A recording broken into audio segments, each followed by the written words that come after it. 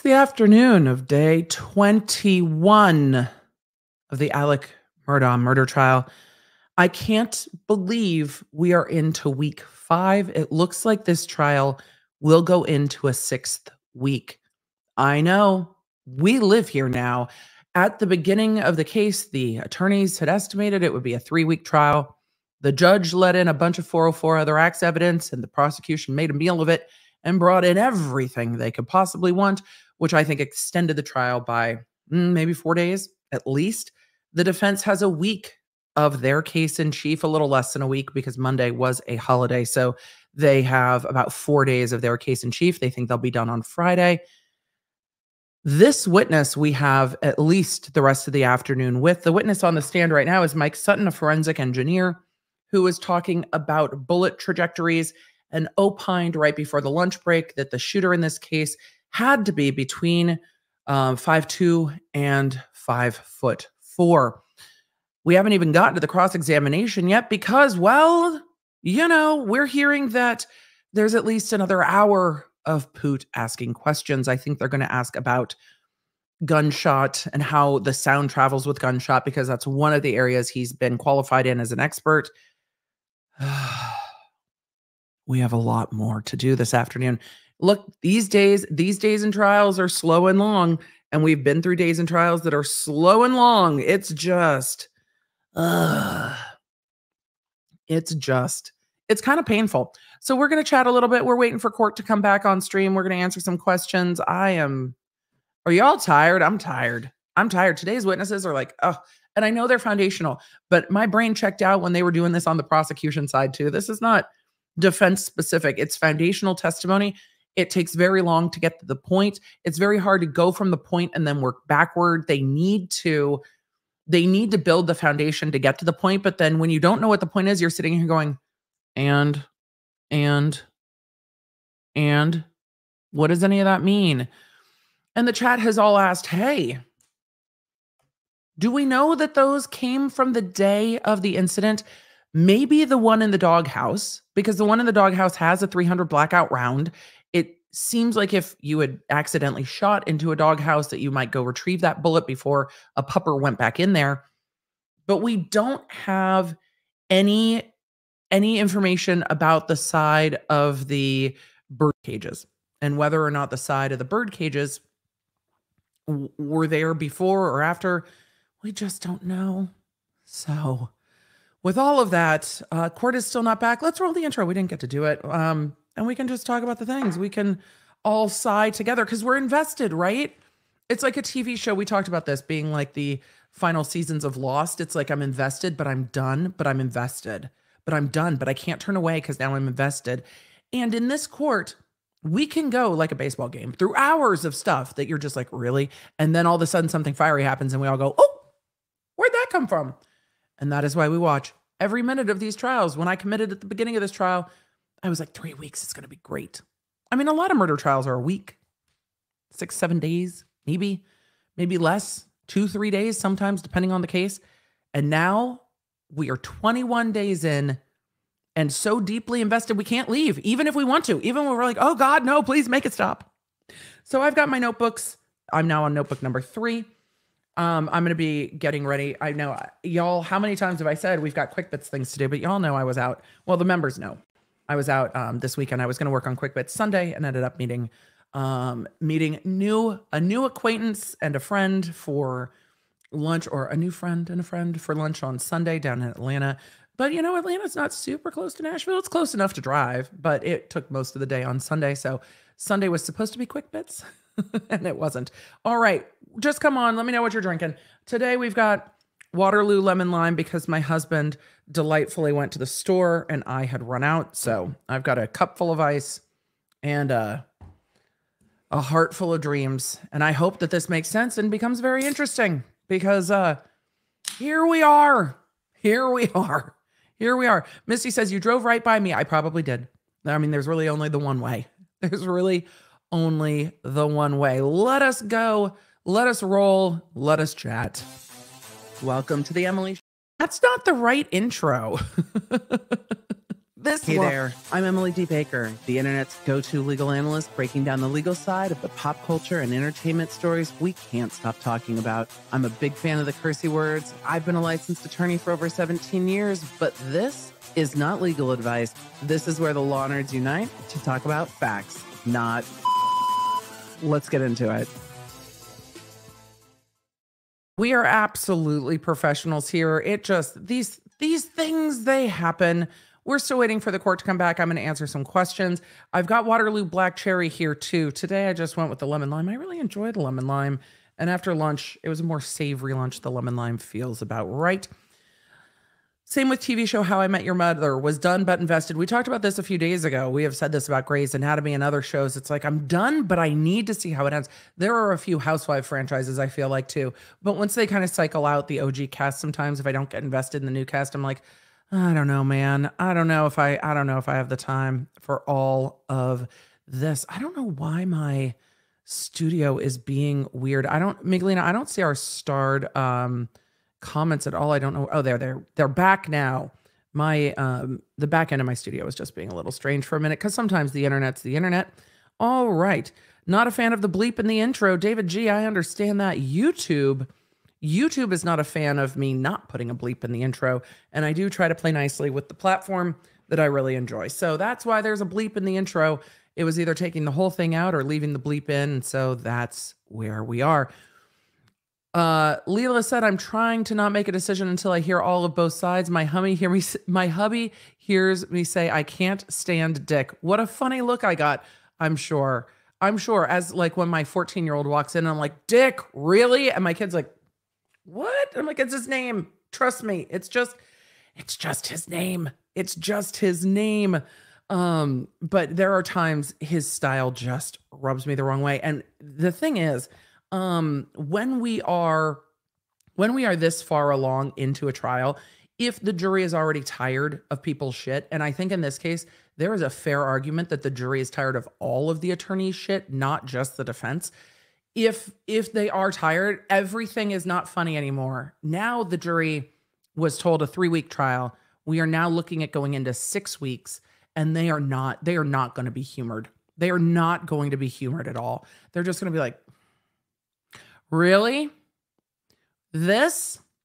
This is what we're doing, which means the attorneys have to read the jury and make sure they are getting absolutely to the point because you can see where I've done long trials. It wears on the attorneys, but you can see the wear on the jury, and they have to be mind the attorneys in the case have to be very mindful of that. They have to see see the wear, see the fatigue, and in this case, a real big problem is the attrition we are we have lost three jurors four jurors and we are now at only two alternates left. You normally want at least one alternate per week plus an extra one. So on a three week trial you'd normally go with four or five. But in this case now that we're getting into six weeks we only have a few a few alternates left and that is a problem for this case. All right. Judge newman's taking the bench with his i think it's an ipad pro that he carries out every day. Seems like an iPad Pro. Looks like an iPad Pro.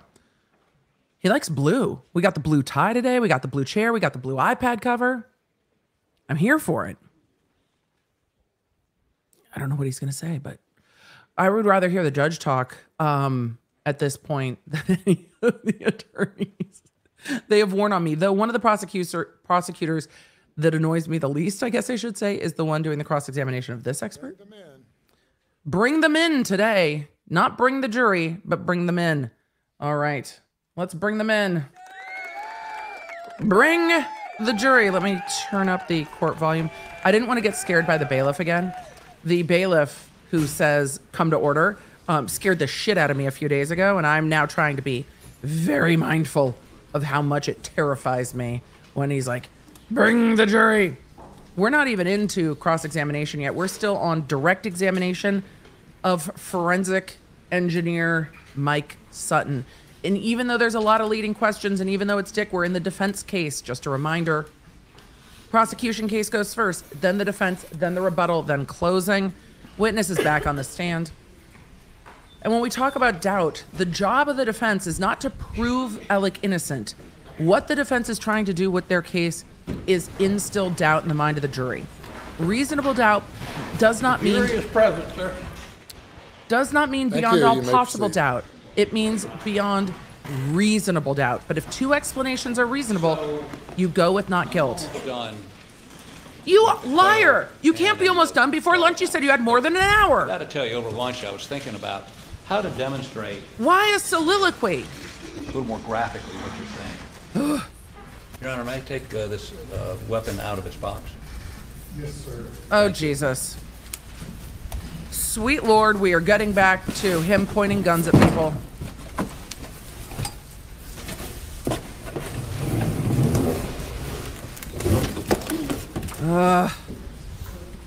Okay, if I keep I, this, you know what this is?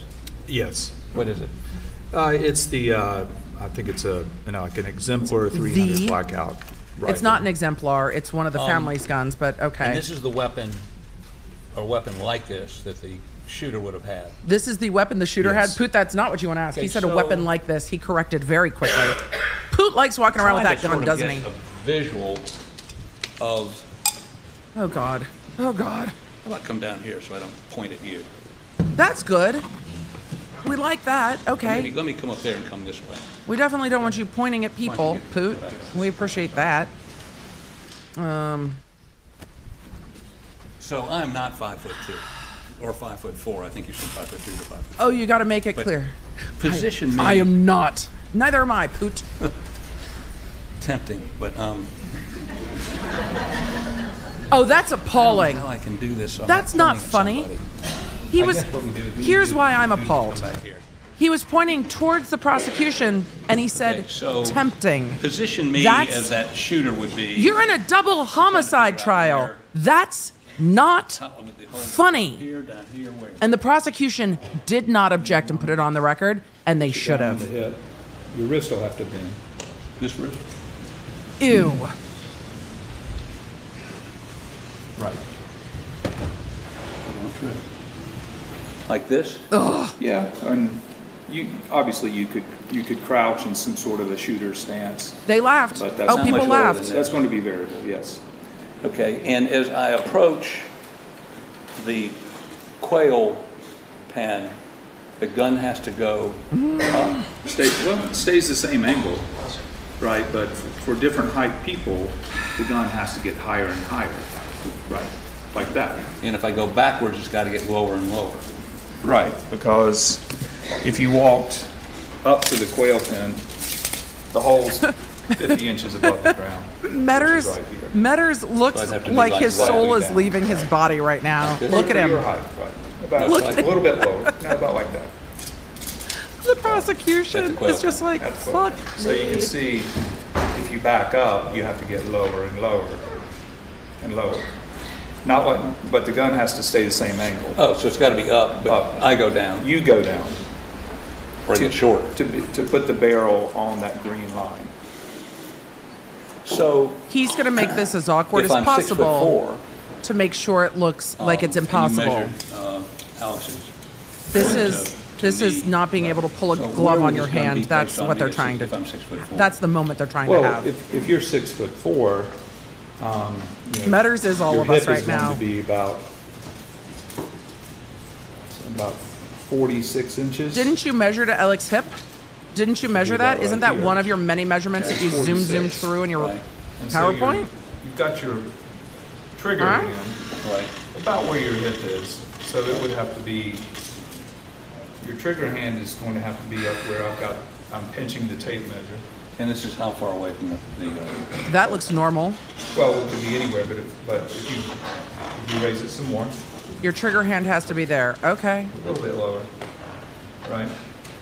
We're going with then- it. The gun doesn't fit. You know, if you're at the quail pen, the hole is right here, right? Even if you shoot from the hip. Demonstratives can be very then you have to shoot powerful. lower. if I'm back where you say the, the lines converge. It was the I think it'd soliloquy have to about be pretty tempting. low, right? Yes, it that has to I be wasn't very- here It has for. to be very low, that's why it's, it's to get a position that would be either shooting or aiming. Right. Or, you know, a, a basic shooting position, you need to be, you need to be shorter. If you're bending over in some other body position, that may be, you know, maybe somewhat of an awkward shooting Look at position. You Meadors. can be taller, right? You, you can be taller than five two to five four. But, but his, I think you told us his uh, foot to knee was 25 inches. 25 inches. And would it be, and- and I'm- Oh, we can't see Meadors any better over here. proportionally for me, where would I be? Proportionally for you, This your is harder trigger to hand is going to have to be back down where your kneecap is, Right about here? about like that. He's right? making And it then point awkward. upwards three degrees. That that would be the equivalent of somebody who's six foot four. I'm waiting for him to go, nah, my in the area where the two shot lines cross, shooting into the quail pen. They would be holding the gun like that if they were on their feet. If, if they were on their feet. Okay, thank you. Please take a stand. Thank you, sir. So what Poot did that I was not a big fan of is that he was pointing the gun towards the audience where the prosecution's table is, and he was like, tempting. And then he said, Where can I be that I'm not pointing this at anyone? That's an improper soliloquy. So- Creighton didn't stand up and object. Poot objected so vehemently when Meadors said, Did I say something funny? trigonometry is what you're saying. It's just, it's not, Um, it's not You say appropriate the at shooter all. would have been between five two and five four, and back to have the, the, the um, ejected shells in the appropriate place. You've marked that place on this sketch where these two, these two folks are. That's sort of the range. Yes, and uh, you can see some of the ejected shells Oh, at the right not beside contempt at all. the I'll body. explain that later. It's just Just improper. It's kind of off where I've got the yellow sticky, Okay. that is the area where you have, um, I believe, uh, two, three, and four. So three empty, 300 blackout case, cases. Okay. And that would be consistent with the position of the shooters in this position, and based on the angle of the, um, the bird cage, the bird uh, cage, um, they would be somewhere between five two and five four. I've got to say. To to have, to have. As we have gotten into week five, when you Almost crouch I down. officially missed Yes. all of the Depp Heard Now- attorneys. All of them. Let's move on All of them. in our presentation. All. And I'm going to try to expedite this a little bit and skip some slides because. I missed that Virginia courtroom. I missed the audio. We talked about this. I missed the demonstratives uh, on the screen. afternoon. So let's go with the Paul Murdaugh first shot. Tell us what this is. Uh, So this was, um, these first pictures are from the night of the murders, and that's inside the feed room. On the south wall of the feed room, there's just a regular window. And what's that? Those are uh, pellet holes from the buckshot. There are nine pellets in buckshot, this particular load of buckshot. Okay. I do. I miss Elaine. Even Elaine. What did you do? Even Elaine and her So what I inability did to was- turn on a mic. please. All of it. I miss it all. When I looked at the, there's the window from the outside of the feed room. That's When I helpful. looked We've at the never seen that scene pictures, before. I noticed that one of the buckshot pellets hit a pine tree, and SLED take, took a picture of that damage to the bark of the pine tree. And so when I was there, there the tree, there's like a, a stand of pine trees that have been planted behind the kennels. Right. And so what I did, there are nine pellets, but the pellets had already spread out by the time they went through the window. In fact, there was one pellet still wedged in the windowsill itself That you found. that I found. Um, But there, there was a tree and it had some ivy on it, but it had damage. And so what I did was I located that damaged tree and put a mark on it. I put, just put some yellow tape there. I went back in the feed room. If you look at the pictures of the feed room, there are some bloody footprints from tennis shoes. And it's, it's uh, just as, uh, I believe it was uh, Chief Deputy Kinsey talked about, um, Paul being about midway in the room. That's, that's the approximate location. So I stood there, but I knew Paul got shot in the chest. So I lowered my head about eye to chest level, and I looked through each hole until I saw the tape on the tree, which is where the sap was coming out, where the pellet had hit it. So I, I determined which hole in the window belonged to that pellet. And then what I did, instead of using a trajectory rod or laser, it was daytime, I did the old school method, which I stretched a neon pink string from the damage of the tree Old through the hole you in the just measured window it? out, out the door, because from what I have understood, you know, this shot um, was taken within three feet or so because there was uh, stippling on this wound here. So what I did was I basically took the string out as far as you needed to go, and, um, which is what is in that picture there.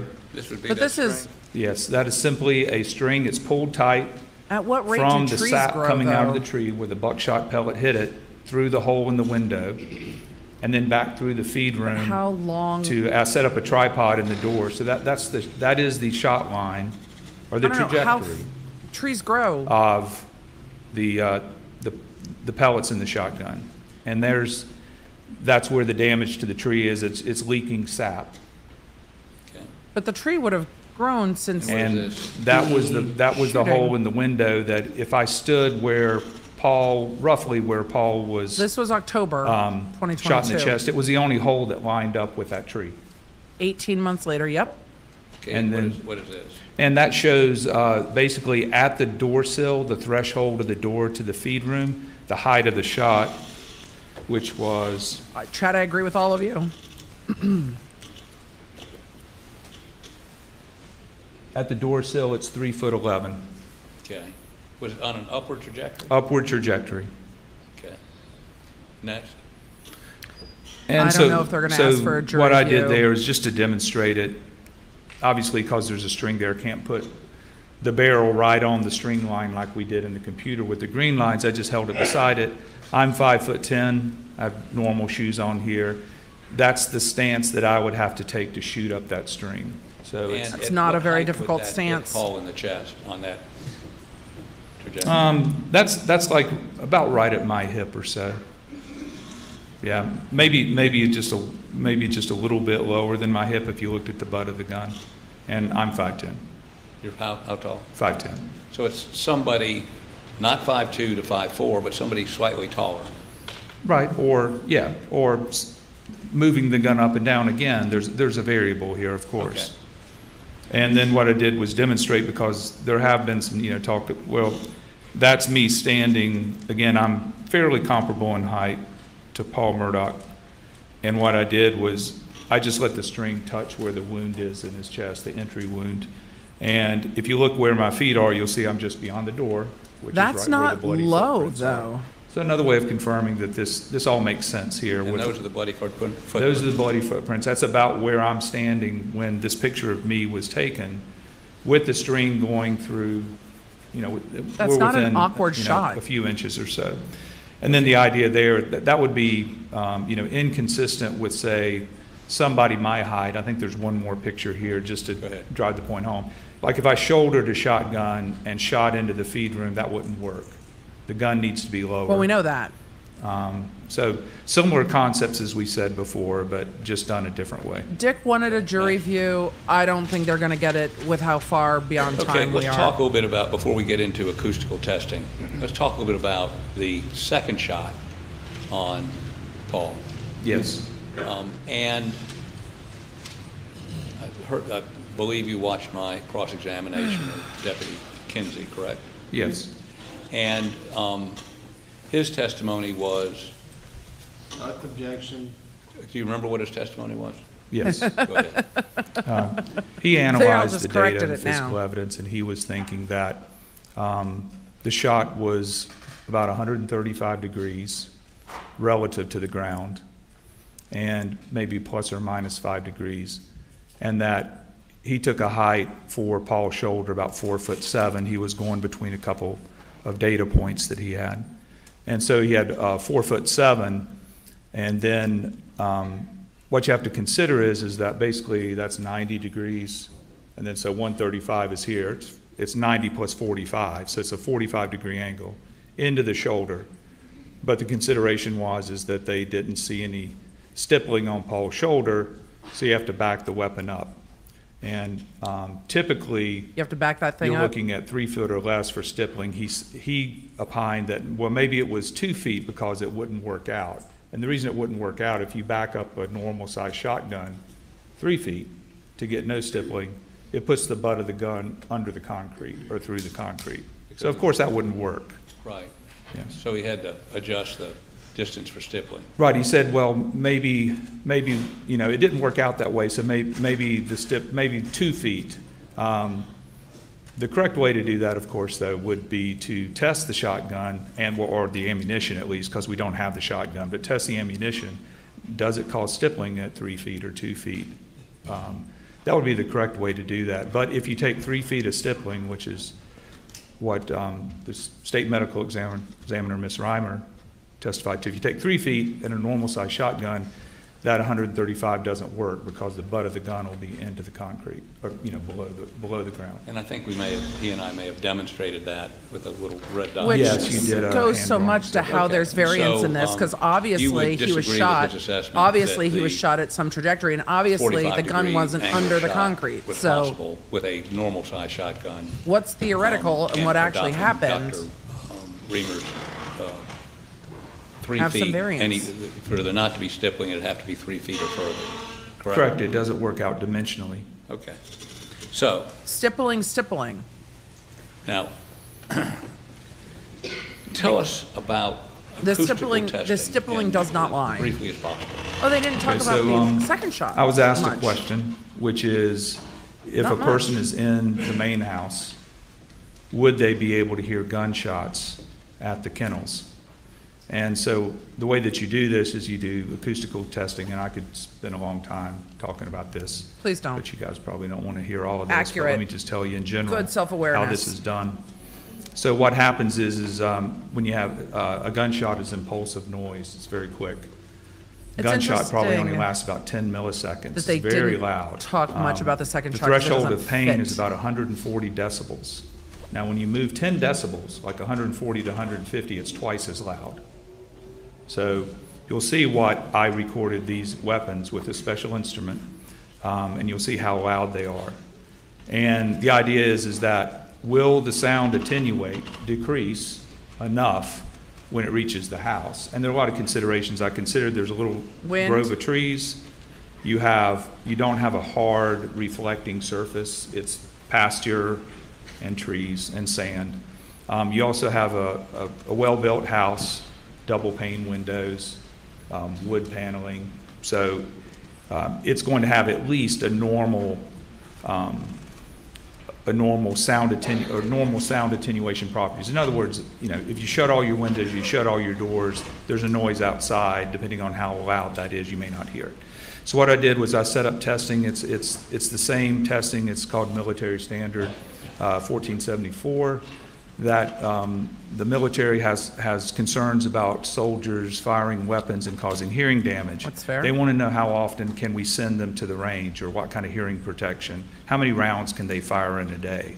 That sort of thing. So They I just asked set up the Blanca testing. if she could hear And in a the house, I nutshell, think. The, uh, the blackout rifle, we, we got an exemplar blackout, same ammunition involved in this case. We got a twelve gauge shotgun, we got bird shot, we got, um, buckshot. Uh, basically, the shotgun is around hundred and fifty-five dB dB is, is decibel. Okay. And when we measure sound, it's not on a regular scale. And the reason is, is because we can, we can hear, the threshold of human hearing is very, very minor. Um, And then we can hear loud noises like a rock concert. So if it was like a speedometer, your speedometer would have to go to like zero to a million. It's not practical, so we make it a log scale. And all, and all you really need to take away from that is, is that if you have something, a sound that's 50 dB. 60 dB is twice as loud. That's how we perceive it, if you have normal hearing. And then the, the idea is, is that, like the background in the courtroom here, there's a little bit of noise going on.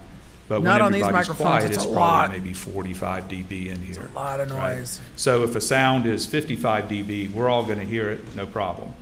If a sound is like 45 dB, we may not hear it at all unless we're really listening for it. Or if it's a really quiet sound, like 25 decibels or 30 decibels, we would never hear it. It's just the same thing as, um, you could be at a rock concert and the person beside you is trying to talk to you and you can't hear them, even though they're talking in a normal voice. You just can't hear them because your background is too high. You know, they're talking in a voice like I am without the microphone. My friends and I totally 70 talk at rock concerts. But your rock concert's Normally we sing. 110 dB, right? So all we're doing here is we're comparing sound.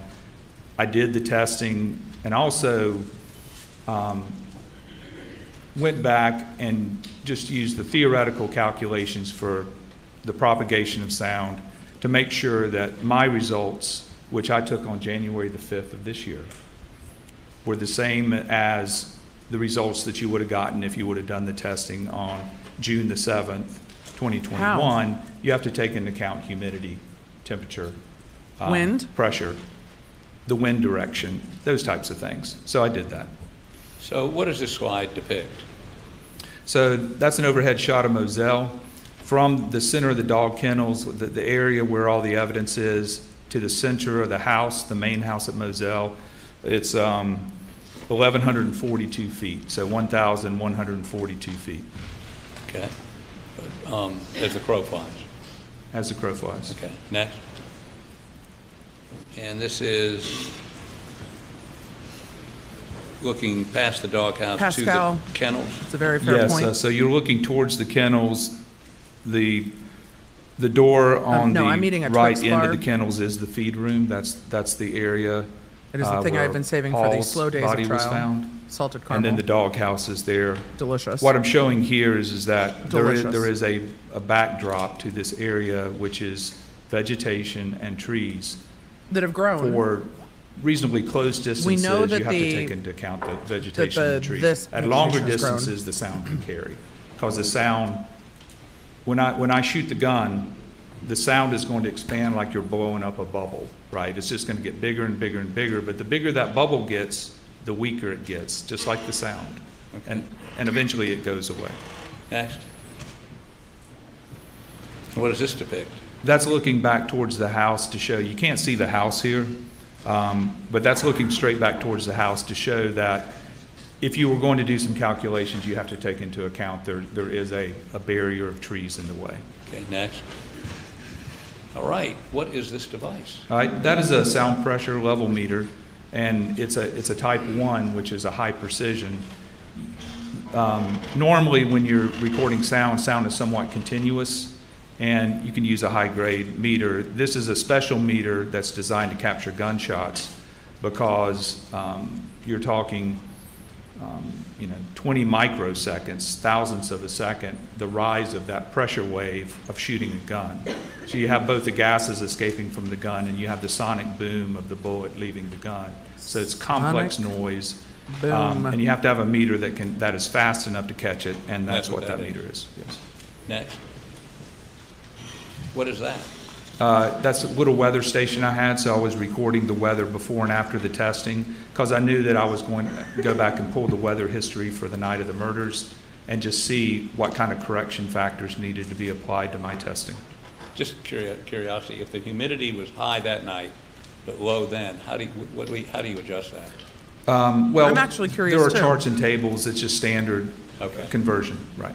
But the- And the humidity was higher in June than it was when I did it in January. The temperature was about the same, humidity was different. But you've got Really? charge charts, calculations. Temperature same in January as physics, June. or Whether it's, For the Humidity, results of this, a lot different. all of these, all of these modifications or adjustments that you would make really don't make a difference because What? the, the, the results were, were so far apart, like what you would have to have to be able to hear a gunshot inside the house. It really didn't matter. You didn't have to make the corrections for temperature and stuff, but I Okay, did Nat? anyway. You didn't have to make the corrections. Why? that just shows where you had, um, that instrument set up. Next. Again, picture where the instrument was set up. Next. So why do you have a uh, measuring? You item didn't there have to make the So corrections what, for what you're doing, sound. and, so I, I took a piece of dental floss, tied it to the muzzle, and then anchored it so Dr. that I B, knew I've got that the questions. muzzle was, was one meter, it's a little over a yard from the microphone. And the reason you do that is, is that, so you fire this gun, and let's say it's 165 dB. So for every doubling of distance, it's going to lose six dB, six decibels. So at one, one meter, it's 165. At two meters, it's going to be 159. At four meters, it's going to be 153, and so on and so on, because every doubling of distance, that's theoretical, then you have to add correction factors, but that's But this is basically to what happens. ensure that your response is, your recording, your calculations are as accurate as possible. Correct, I'm just following the mil standard here. Okay, uh, What standard? It's a mili- U- Oh, the United States standard. military Yeah, standard. you talked about before. Okay, next. He's just following the mil standard. That would be the ammunition you used? These slides are just showing what I used to do the testing. So this is the 300 blackout. Next. Is that a 300 blackout shell? uh, Yes. bullet? Okay, next. That would be the 300 blackout. Yes, Next. That would be the shotgun, yes, 12 gauge. yes, Okay, next. Uh, That would be the buckshot you used. yes, Next. Okay, and that would be the bird shot, the turkey load bird shot. Yes. You used, right? yes. Next. And this is uh, the inside of the house? That's inside the den of the house, and what That's a lot I of did there wood. was, um, I took background readings. In the quiet house, it's really quiet, because you're way out in the country there. I mean, there's no traffic. That is So not what I expected it the was inside to look about like. I don't think we've 35 ever seen the decibels in inside. house, Which is equivalent to, say, a quiet bedroom. Do you have at the air night. conditioning on? Because the outside's Um, very I believe kind the of air modern was, white was farmhouse. working. The The inside is refrigerator was running, wood. but it was very quiet. Okay. Um, And then, so what I did was I set up some equipment there to measure the background. We also, of course, we turn on the TV, normal volume. So that's up around 68 dB, 70 dB, um, you know, depending on how, how you want to listen to. We put a movie in and I Okay. ju- just had that. So two background levels in the house. And then you, the next question is, when, when you fire a gun at the kennels, do you hear it? Do you not hear it? How loud is it? Okay, next. So what is that? Well, I we guess I did, we assumed shot the the gun room would be blackout different. out around the doghouse. Because gun And then we shot the shotgun into the feed room, out of the feed room, and then ki- uh, with the muzzle outside the feed room. So we shot into the feed room, we shot out of the feed. So we're just trying to figure out, is there anything about the shape of the feed room that really changes the, um, really changes the character of the shot? The takeaway is, is yes, it muffles the sound if you shoot into the feed room. It's not hard to understand. But the blackout was much louder than the shotgun. And it was shot over by the doghouse where the shell casing was found, Yes. okay? And that is what you shot in the feed room? Yes, it's a ballistic gel dummy. It gave us something to shoot into. Okay, next. They did a lot of testing. Not quite sure what that is. It's just more, just pictures just showing the testing. Okay, Same. Okay, next. And um, this is the various indoor, Noise outdoor charts. sound levels. And could you, rather than reading all of this, could you sort of give us an overview of? Well, we and- and these appreciate an results overview. Of those shots you made? No, this is just actually um, just from the literature, i- if there was a discussion about different decibel levels, but, you know, um, you know, vacuum cleaner 70 decibels. Oh, okay. Yeah, quiet conversation 55, a dishwasher in the next room is 50, you know, and on and on, you know, from, Okay. you know, loud noises to soft noises. Next. I think that's just a a blow up of the last slide. O- Okay, so what does all that mean? Uh, th- Just as a comparison to my numbers, these are, these are other people's test numbers, basically done the same way I did it. And you have a bunch of rifles, and they're between, you know, you have 166 decibels, 163, 161, and there- therefore, so basically your rifles, all the way average. down to a 22, which is Sound. like 143 decibel. So the But if average you're- sound. If you're shooting a rifle um, with a decent size cartridge, then you're looking at something from 160 to 165 dB. Okay, next. This is a similar chart of other people's work doing the same thing, and for shotguns. And basically, your shotguns are going to be 150 to 160 dB, so not as loud as a rifle. A little bit quieter, but obviously 12 gauge still is, is a loud gun. Um, Next. Okay, here's your results. These are my results. So basically, the blackout was right at 165 dB, and the shotgun was at 155 dB. So the results that I got from the testing were in line with uh, testing that other other people had people done. They're trying to show next. the jury that the assumption that if Okay, you should have so- heard them, I'm going to turn this down a little. You should have heard You them want us to play this? because they're going to play the gunshot. Go ahead. What, it- what, wait a second, what is this?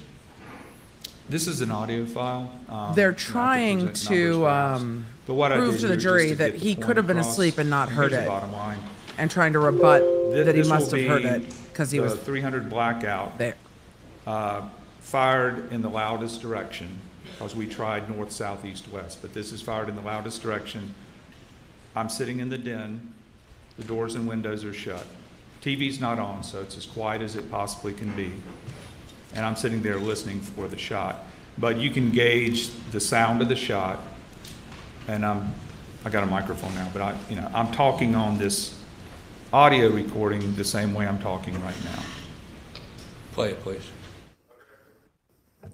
Okay, I'm ready. Um, I'm gonna give you a countdown and then you let Michael shoot and then go ahead and mute your phone, please. Okay. Three, two, one, shoot.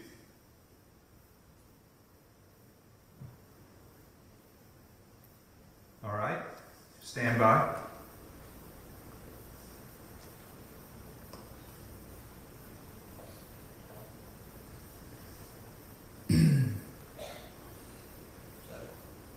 So Okay, it it was gonna, uh, about one now second shoot before I to said, Wes. all right.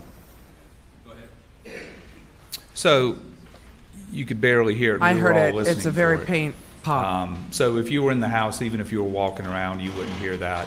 I could barely hear it, and I was listening for it. So what that tells you is that the sound inside the house They wouldn't have heard it. um, is right at, right at that background level. It's kind of sitting right in your background of the quiet house. And so There was a if, shot. if you were doing any, any kind of activities inside the house, you wouldn't hear it. And certainly if you had the TV on, which will be, remember 10 dB is twice as loud. So it's 35 if you've got the TV on, there's no way you could hear that shot. So do you have a, a uh, engineering professional acoustical opinion, more probably than not, as to whether somebody in that house, without the TV on? You're assuming listening, someone's in the house. uh, Would hear that, um, tho- those shots, those uh, blackout shots down at the dog pen? I do. And what is it? You would not be able to hear it. And the shotgun, I assume, is quieter, so it'd be even less of an opportunity to hear that. Open a Yeah. door. There were times we fired the shotgun in a quiet Open a house and you window. couldn't hear it at all. I've got just a few more questions. But it goes to argue and allow the jury to Good. decide, Good. Any more would he have slides? heard it? This is to I think there's some more rebut, slides, but I think we've covered the acoustics, unless you want to get more Well, I'm, into it. I don't. I- this is to counteract the, but wouldn't he have Keep heard the shots? Wouldn't he have heard the shots? Because that's what we're all Do that. thinking. Keep going, But they're going. assuming he's at the house, not Keep walking going. back to the house. keep going.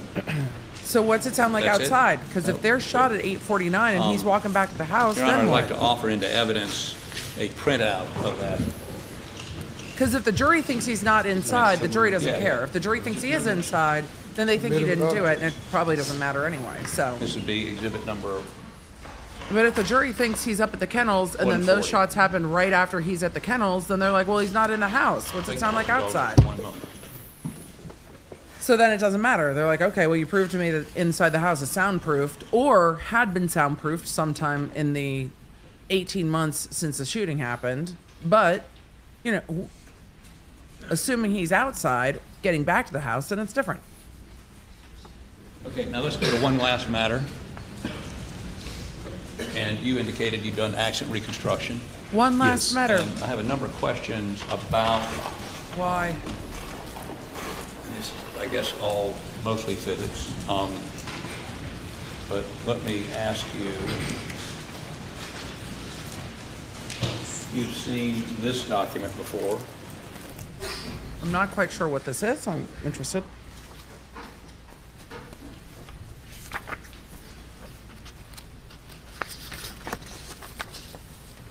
You recognize that? Yes. Okay, don't tell me what it is yet.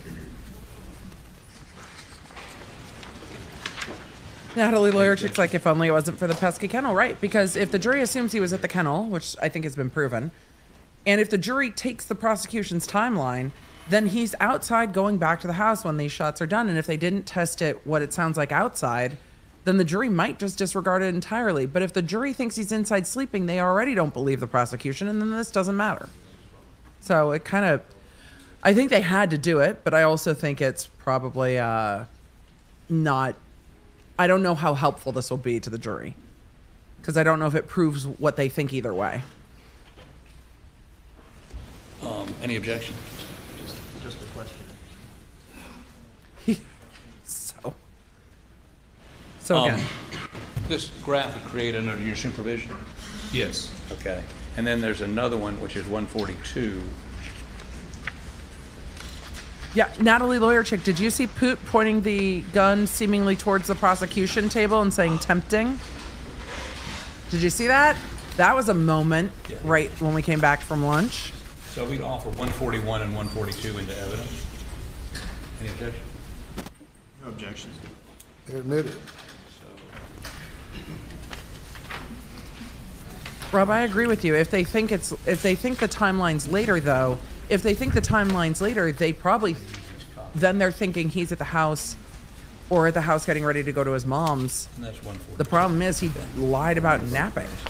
So but I agree with you. 141 is speed from Moselle to Almeda, which I guess maybe I need, we don't have that on um, computer, do we? No. Oh, Poot Let me actually this said that, on the, uh, Pancakes. overhead. Let's start with 140. That happened. The prosecution didn't say anything. I Can I went have the Elmo, please? Creighton Creighton held his own. Or held his shit and didn't say anything. I think they should put it on the record at the break though.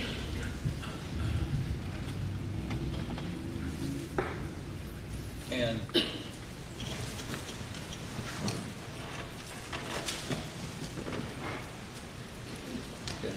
So Most what is- bailiffs what does would this have depict? tackled them. Uh, This is a graph of the speed of Mr. Murdaugh's Suburban, and this is from the trip from Moselle to his parents' house. And that would be on the night of June 7th? Yes, and each one of those little vertical lines, the blue lines, represents three seconds. Okay, so, um, two things. Um,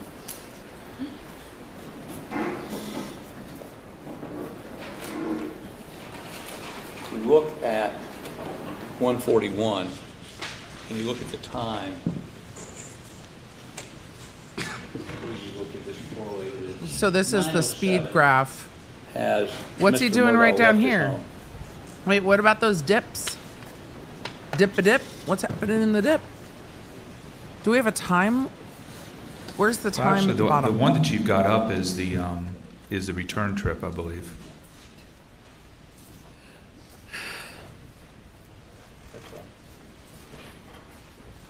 This witness was was it uh, was qualified as an expert in three categories, and the prosecution had no objection to it. So yes, he is an expert in at least three things. But it seems like ac- accident reconstruction is what he does the most. But I'm not sure where this is going. But okay, now I'm starting to get cold. I'm just chewing on ice to try to stay awake. Is that better? Yes, that's the, that, that's 141 there. Right, and at 9:07, has he left, Mo- left Moselle? Object, Your Honor. The time's on this chart. There aren't any times on this chart. Independently checked the data behind this and determined where he was at 9:07. Yes. Where was he? Uh, On the chart, Yes, he it would is. be It's physics. that first rise there. Yeah. you- There's a little bit of a dip, but then it it rises all the way up. Um, it's a I'm little bit gonna over live in this 60 miles an cardigan hour for the there. rest of this trial, It's by the right way. before the dip in the middle. The dip in the middle is when he sent a text message, so just slight slowing, No, back over. he back, was back, back. texting while That driving, little so dip right here's the there. dip.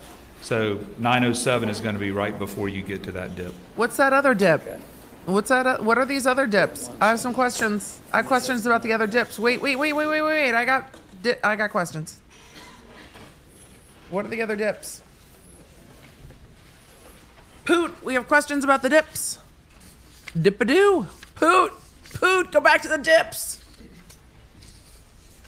So um, this graph starts at 9:07, does it not? Yes, Okay. So it means that he is in Moselle at 9:07? yes. Okay. Um, Questions are confusing. After he leaves there, Was that snark? does... He just said does he questions are slow confusing. Was down? that snark? I mean, after he turns onto the Moselle Highway, does he slow down at Ooh, all? buffalo Any- chicken dip, Bethany. Any, any point until minutes down the road? Not until he's down the road. He's. This he's should building have speed. times on the When bottom. he passes that, what you just asked, the cell phone location, he's passing through the mid-40s. Times down here. Didn't slow down at the, at the, um, at where the, where Maggie's cell phone is, is on the side of the road. How do you know where it is? With was that actually chart. accelerating a little bit as he went through there, just like, I think 42 to 44. Your something pen's like that. covering up the shit I want to see, though. Is that about right? The objection was sustained. Okay. There's So no as he times drove on the past, chart. I think you've testified that. There's no correlation to anything. Thrown out on the side of the road. Tell us approximately what he was doing. Was he accelerating, decelerating, stopping? What was he doing? He was speeding up, so he's speeding up from, you know, 42, 43, 44, 45 miles per hour as he goes through that area. Any indication he stopped or slowed down? No. Now, um,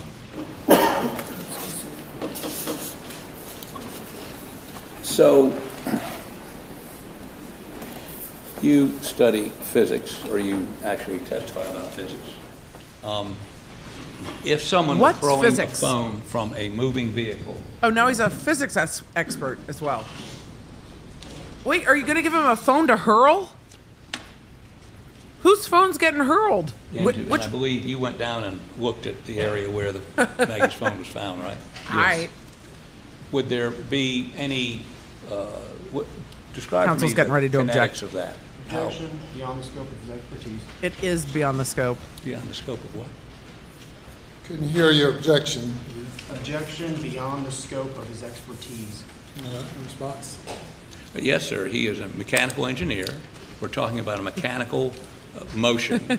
Um, He's not done mechanical accident if it's a human. reconstructions where they have to determine the motions of certain objects during that wreck. Um, and What's perhaps I mechanical? could even ask him, are you confident you can give us an expert opinion on how a moving object would move um, if thrown from a moving car? car? not how that works. Any objection? It's not how that works, Poot. Look, the faces of the prosecutors are killing me right now. Um, Now, They're just you've like, also done, um, Meadors is just at a like, number of crime scene stop photos. it. Correct. Yes, And you um, understand where Maggie's body was, yes, and you understand where Paul's body was. yes. Uh, Would a vehicle, first of all, tell me the uh, typical headlights, the headlights on a Suburban, how far out would they go? How far out would you be able to see with them? What? Uh, Well, it depends on the object that you're Yeah, looking at. doesn't it depend? Low beams, modern low beams, which Low would be on, beams. view.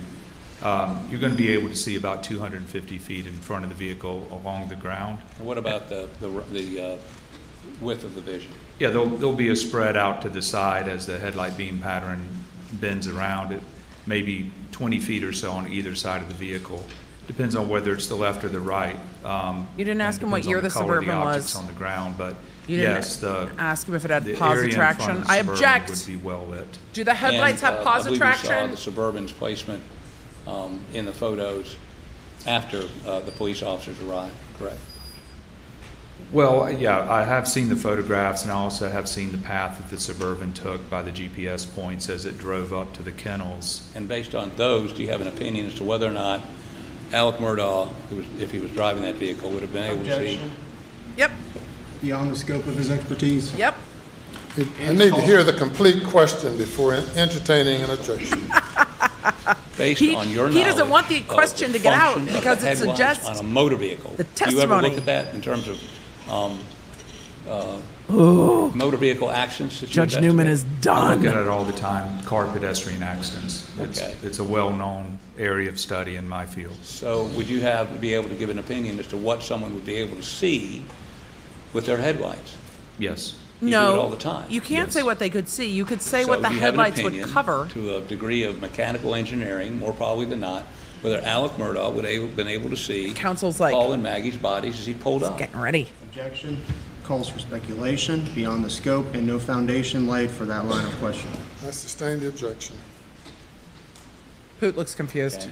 You have looked at the photographs of the scene. They're gonna right? fight on this one. You looked at the GPS data to see where that vehicle pulled initially, right? They're gonna fight. I'm talking about the Suburban. Fight. You Fight. routinely Fight. take that same data in a mechanical, and, and not a mechanical, in a motor vehicle accident. You've been qualified to testify about motor vehicle, motor vehicle accidents. They agreed to that. Tell me, would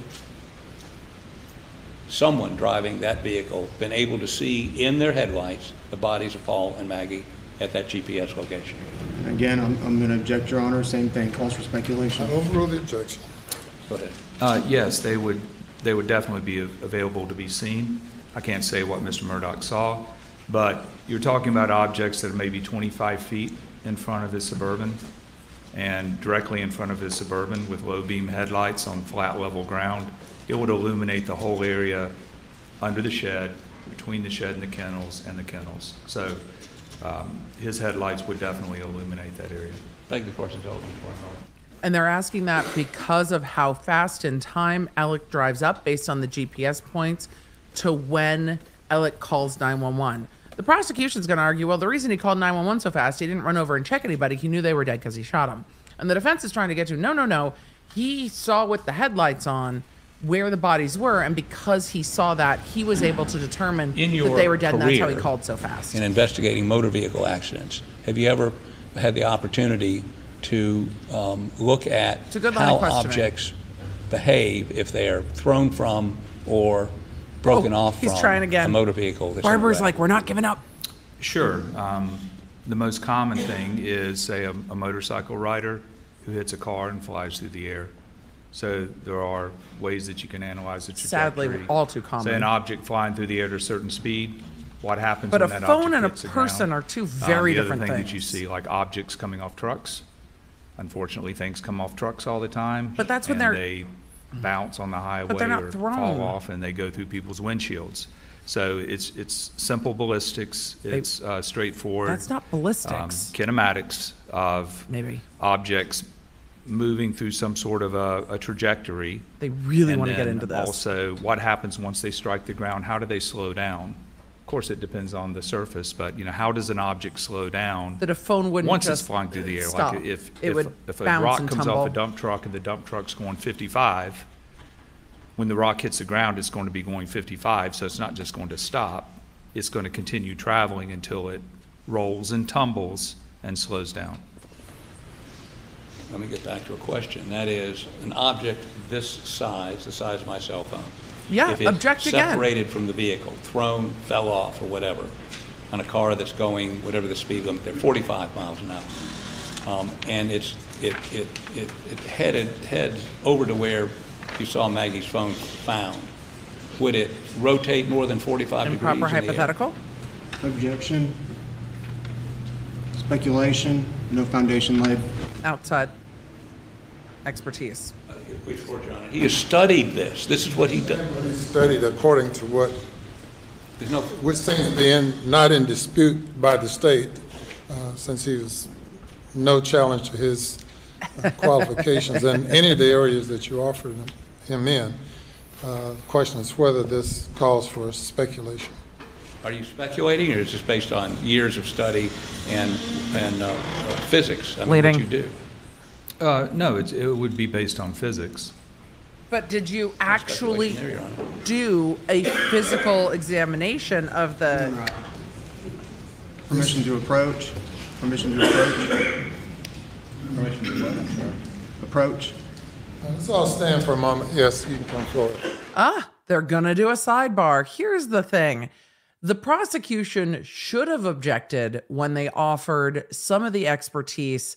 The judge was very annoyed with some of the prosecutors, um, some of the prosecutors' objections earlier. They're going to approach the bench and he's going to explain why he's upset. Now, with that, the prosecution is objecting to this witness speculating on what a phone would have done if yeeted from a vehicle at that speed. But they haven't laid the foundation for that well. However, they did admit him as an accident reconstruction expert. The prosecution was like, no objection. And the court's like, y'all didn't object. If y'all didn't object, why are you objecting now? It's not outside the scope of his expertise. They admitted him as an expert in like four different things. So, what I think he's going to try to get to is if a phone was yeeted from a high rate of speed, it wouldn't just be laying pleasantly in the grass. It would have tumbled or bounced. It would have had grass all up in its undercarriage and shit like that. So we'll see what the court has to say and what the next questions are. Okay, I, let me see if I can ask this in a very concise way, and then I promise I will sit down. lies. So, you, objects moving from a moving vehicle, or even a, I mean, moving vehicle, like something this size, if it's going through the air and the car is going 45 miles an hour, will it tumble, unless it's a spherical object, will it tumble? Well, it depends on how it's separated, like you said, from the It car or thrown from the car. However it gets away from the car, you need to know that before you know what it's going to do in the air. But the one thing's for sure, it's going to hit the ground at 45 miles per hour, which is 66 feet per second. So as soon as the phone, phone hits the ground, it's going to want to come to a stop, right? So that phone will tumble and slide.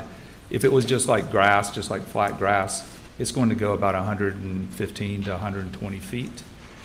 That's how long it's going to take that phone to slow down from 45 miles per hour. In the area where the phone came out, though, there's like some saplings and brush and pine straw. I doubt it went that far, but it, it would, it would Nothing was definitely. disturbed near you the know, phone in the Tumble through the, the edge of the woods there. Tilt more than 45 degrees? Sure. It didn't look like anything was One- disturbed in those um, photos. And that's what they're getting at. Tumble. The phone it looks- would Tumble, correct? It moved. Also, the phone was off, so that tumble Yes, wouldn't that's what's going to necessarily happen to be a, recorded. to, you know, it doesn't have to be a phone, but any, Any object. a brick or anything like that, it's going to roll and tumble. They should have Maybe called if- him if in in the Stephen surface Smith is, uh, case. Flat enough, it might even slide. One last question. I, I, one line, I forgot this. Um, you looked at the data on, the speed data on, um, the Suburban returning on the night of the 7th from Almeda to Moselle, correct? Yes. And the state mentioned that there are a couple of times where his, or at least one time where his speed goes up to 80, comes back down, or, t- tell us what's happening with those peaks, the 70 and the 80. Well, if you look at Exhibit 142, Yeah. This graph represents the speed, so the higher the peak, um, the higher the speed. The sharper the peak is the smaller amount of time that he spent at that speed. So like the one in the middle that goes to 80 so miles an hour. helpful if there was time on the bottom of the graph. Just a second or so, a couple seconds. I like a demonstrator Because each one of those blue lines represents three seconds. So what that shows you is, is that he does reach high speeds on the return trip, but it's not for a long period of time. And that's why that basically the average speed of Mr. Murdaugh coming back to Moselle was about the same as what SLED drove it, right? Because you're not really changing the average speed that much because you're, you're driving faster, but just for little periods of time. Is that consistent with somebody passing a car? Uh, it could be. But it's just a up and down, it's not like Yeah. 80 miles an hour all the way This. back to Moselle. That's I mean, correct. Right. That's If you tossed it this way, it's different than if you tossed it this way. We're assuming the way it's tossed. Thank You you can't your assume the way it's tossed. I beg everyone's indulgence. You said you would ask one concise question and sit down. Liar! Ladies and gentlemen, we'll take a break now. Please do not discuss the case. The judge is so done. You could hear him snapping at the prosecution earlier, too. He is just done. This trial has gone far longer, which means it's going to fuck up this judge's entire calendar. Because again, this judge has a bunch of other cases that are now going to get screwed because he's in this trial. So his calendar that was booked out on his court calendar for the next few weeks is going to get bumped and bumped and bumped.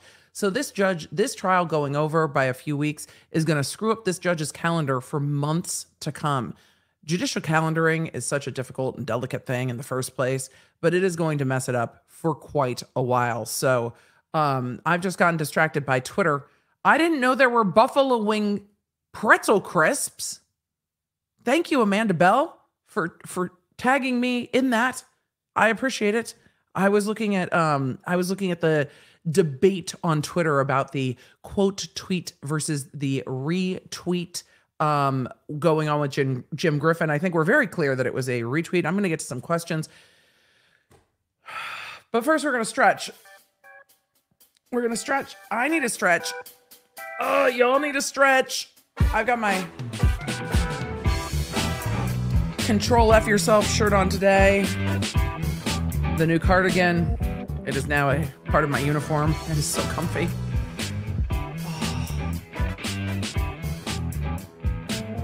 Penelope's Lane said, My dad and I are obsessed with this trial. This weekend, we took an old iPhone and tried to throw it out of a car to the other side of the road from a passenger seat. I bet my dad it was impossible. I won $100. So it sounds like it was impossible if you won, if you bet it was impossible. However, it's going to be much harder if there is a passenger in the passenger seat um, because the timing only works that way. I think the phone, I think the defense makes very good points with regard to the phone and the timing of the phone. I truly do. What I don't understand is why AM felt the need to erase the calls on his phone. Um, why all lies about everything? I I don't know, but also to just counterpoint that for a second, he had given his phone to SLED on June 10th, and they had done a partial dump of the phone. So I don't know. Could Judge Newman have yeeted Jim this morning over the tweeting? Allison, I don't think so. I don't think so. I think it would be, I think it would cause more problems. He admonished Jim, and that was about it. And that's appropriate. Um, I think also that after admonishing Jim, the prosecution didn't bring it up at all. I mean, today, hold on, let's go back. Can we go back to the moment we're doing it? We're we're just doing it. I'm asking, I beg the chat's indulgence. I beg the chat's indulgence. I need to go back to right when we came back from lunch and Poot is messing around with a 300 blackout because I am still not over the fact that it seemed like what that Poot dealing with the 300 blackout. I want to see the reaction at the prosecution table as Poot's doing this. So I'm going to back up to Poot taking the 300 blackout out of the box. I'm going to go to our the three uh the three camera split over on law and crime and let's take a look at this cuz I really need to see um I I want to see the prosecution table reaction if we can see that. So we're going to do that real quick because I'm still just like what? It happened very fast this afternoon after lunch. Poot was picking up the 300 blackout and he was trying to maneuver around the courtroom so he wasn't pointing it at anyone but it seemed that he was pointing it in the direction of the prosecution table and said tempting. And there was a chuckle. And I can't tell if the chuckle was from the audience or the jury because we only had the one feed up. Now we have three feeds up. And we can go ahead and take a look. Hopefully, this will be loud enough. And let's see. Definitely loud. Keep it pointed upward. Do you recognize this? Do you know what this is? Yes. What is it? Uh, it's the, uh, I think it's a, you know, like an exemplar 300 blackout. Sorry, it's so rifle. peaky. Um, and this is the weapon, or weapon like this, that the shooter would have had. Yes. Okay, so I'm trying to sort of get a visual of. How about come down here so I don't point at you? So I don't point at you. Come down here so I don't point at you. Maybe let me come up there and come this way. Okay. And then he turns around. Oh, we're at a single camera. Darn it. Points it. So I'm not five foot two, or five foot four. I think you should probably be five foot four. But position me tempting, but um, It's worse. It's worse on the rewatch because you see him start to chuckle, but it looks like Meadors and the other prosecutors also laugh. So, look, Meadors is laughing. Meadors is laughing. Meadors is also laughing, and it looks like the audience starts to chuckle. I'm going, I don't know what in the Elmer Fudd is fucking happening in this courtroom. I'm just going back five seconds. I will tell you what, if a defense attorney ever pointed a weapon at me in court and said tempting, I would have lost my ever loving fucking mind. But now that we've got the three camera feed, it looks like the prosecutors are laughing. So where the what the what is happening? All right, we're going to watch it again. Because it's not that he just see, we didn't know what was coming the last time. It's not that he just says tempting. It's the glee that lights up his face in advance of him saying tempting. Creighton's definitely not laughing. Oh no, Creighton definitely doesn't look like he's laughing. But I couldn't, uh, there's no way. But also, you, Yep. You don't point weapons at opposing counsel in court. All right, let's look again. foot four, I think you should probably do foot four. But position me Look, look at his face. tempting, but, um, I don't know how I can do that. It's the courtroom that laughs. You can see the gallery back here laughing as he's saying tempting. Somebody make Runkle react to this clip, but I don't know what's happening. They all they all just kind of giggled. I okay. I don't like it, but it's just me. They all just kind of giggled. And Meadors and and the prosecutor sitting next to him, oh over here, laughed along with it. So I uh I'm just gonna do it one more time. I just I I I can't believe this happened in court. I really can't. But then again, the coroner measured time of death by putting his hands in people's armpits. So just So I'm not five foot two or five foot four. I think you should probably do five foot four. But position me tempting, but um, I don't know how I can do this. So I'm not pointing at something. okay. Everybody seems good with it. So what who are we? We're just the we're just the TV audience at home cuz everybody else seems fine with it. That's wild. Wild to me. Things happen in court and uh you never know. It could have been nervous laughter. It could have happened so fast that they were just like whatever. It's just a it's an odd. I don't know how you I don't know how that passes through your brain and you're just like this is the joke we're going to crack right now that it's tempting to shoot the prosecution in a double homicide case in front of the jury. It just I don't know. It'll be interesting to see if there's any uh, reporting on it though.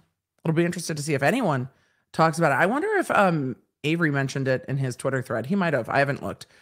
Alrighty, let's go to your questions. It's just, I guess we're on a 15 minute break. That's so weird. Quick bit. The wrong damn bumper, Emily.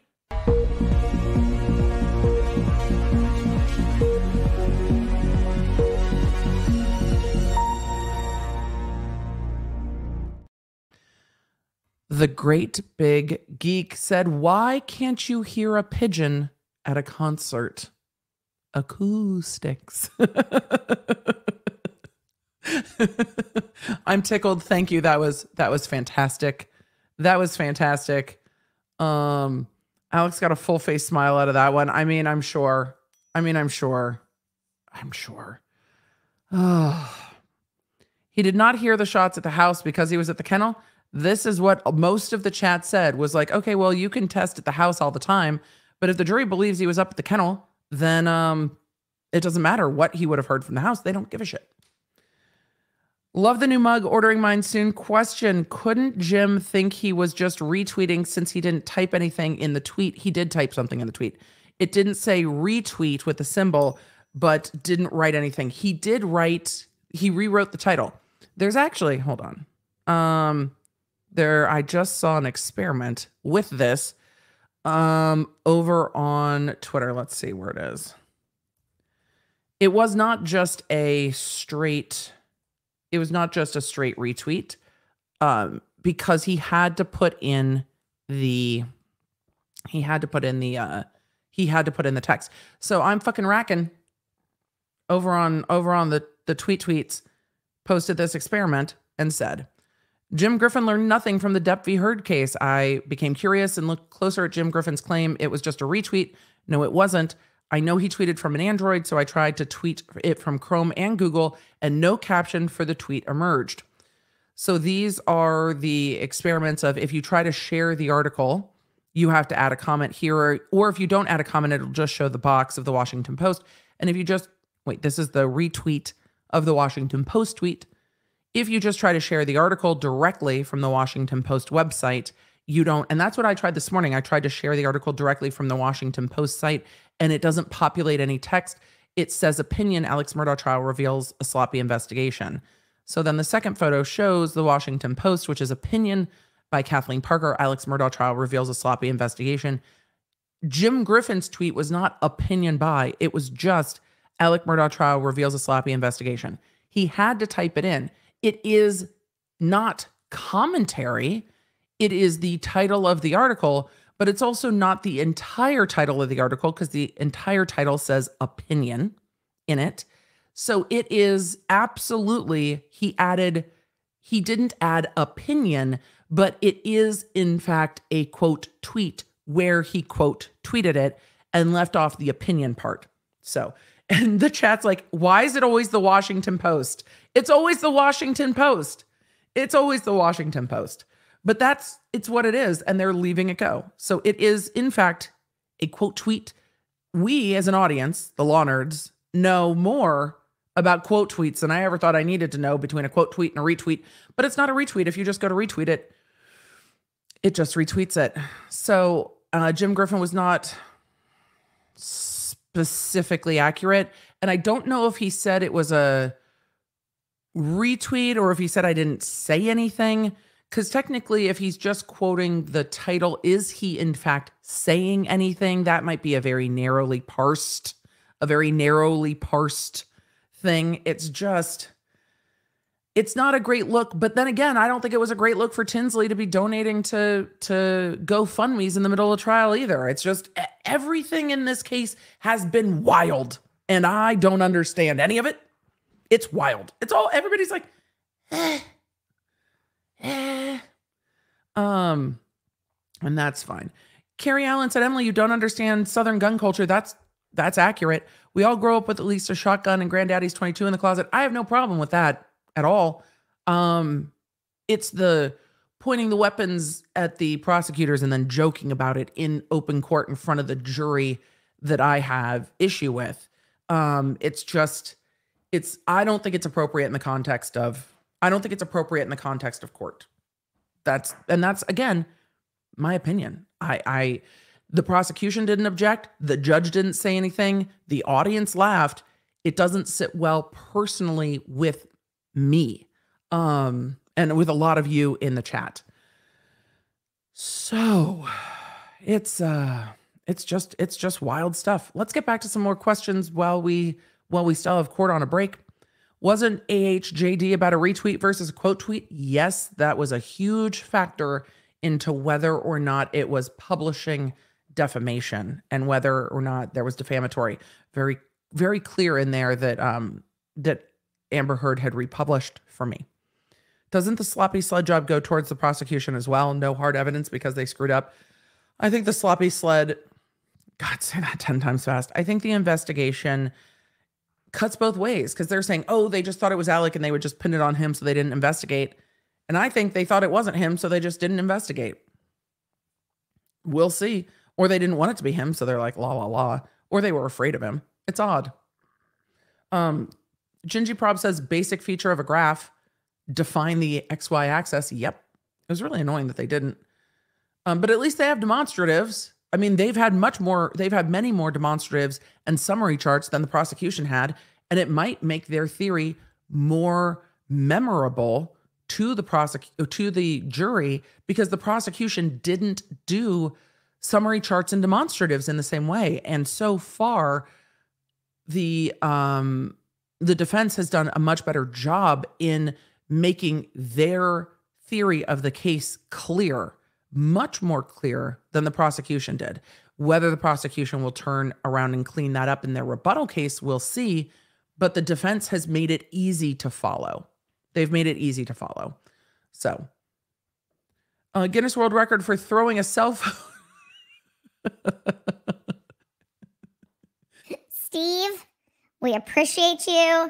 Now we know. This is this is more than I needed to know.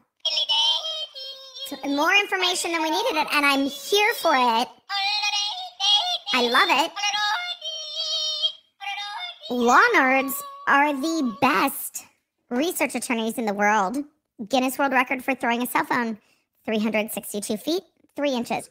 But did they hurl it overhand or did they like what mechanism of thrown was it?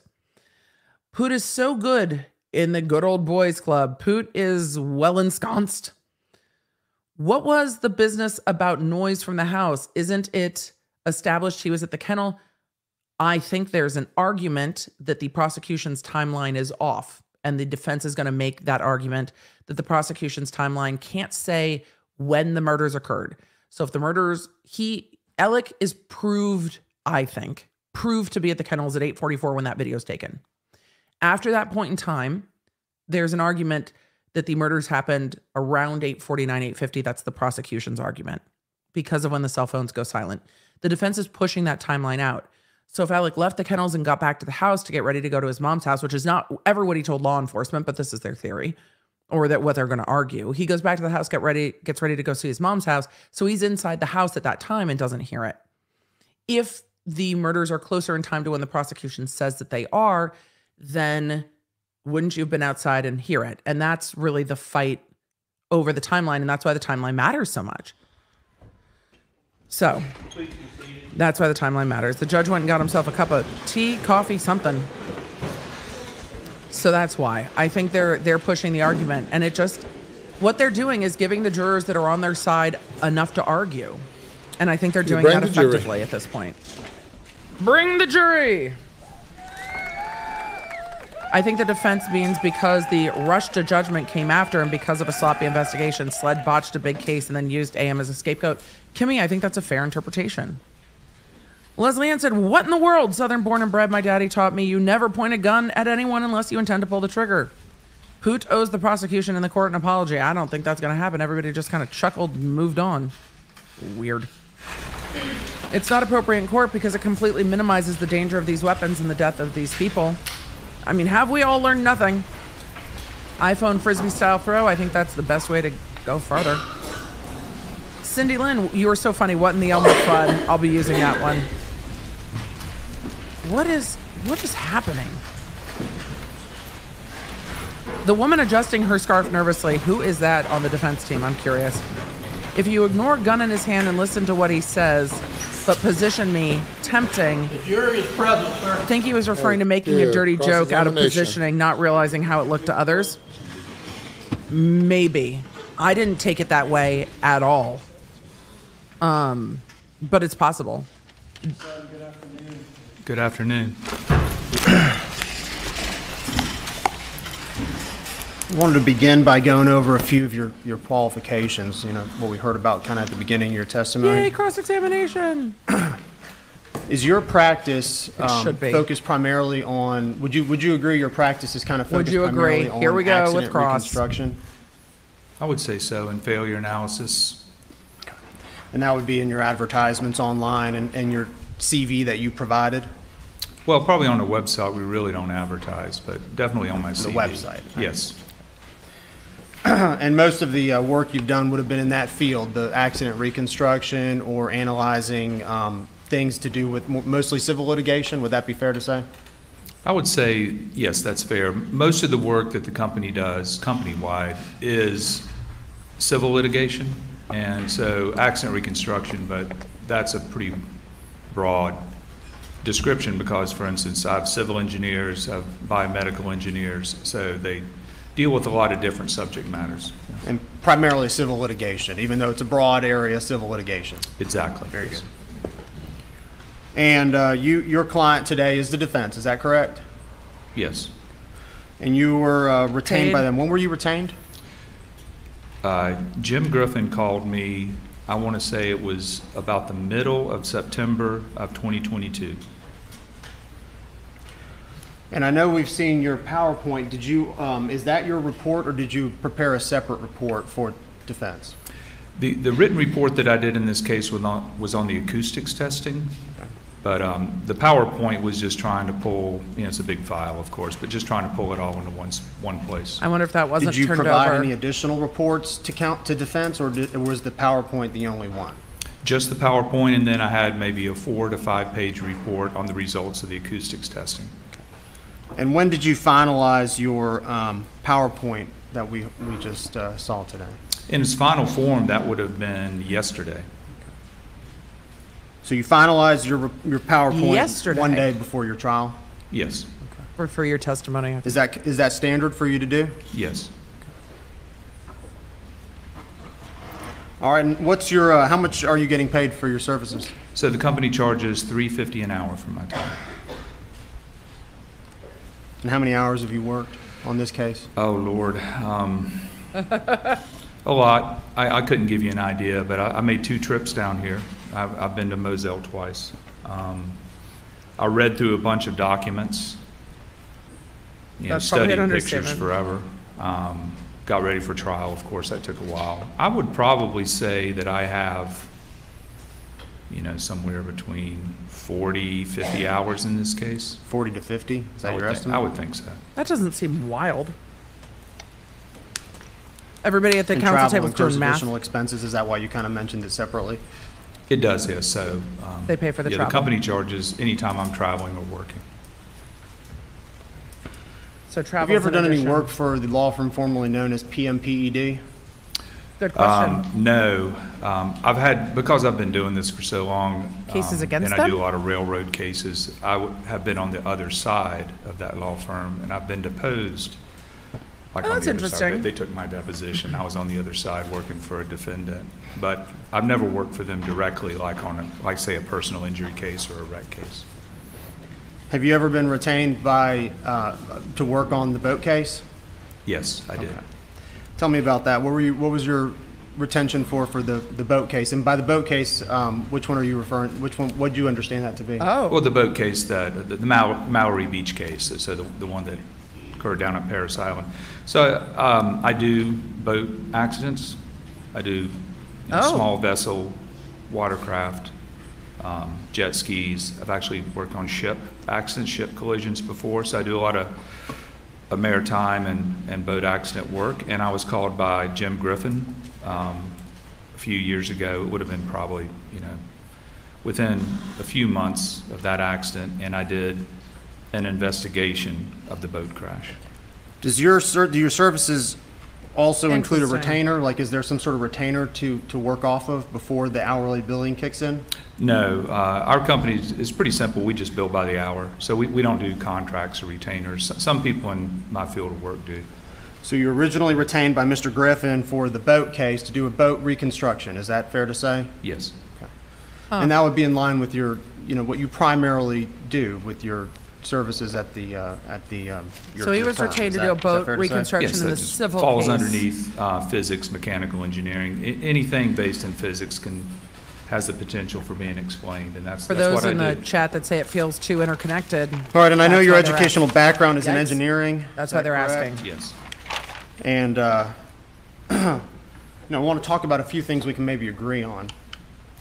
Uh, And engineering is a, is a field that, would you agree, engineering is a field that, that That's is why the based in, prosecution um, asked. Science?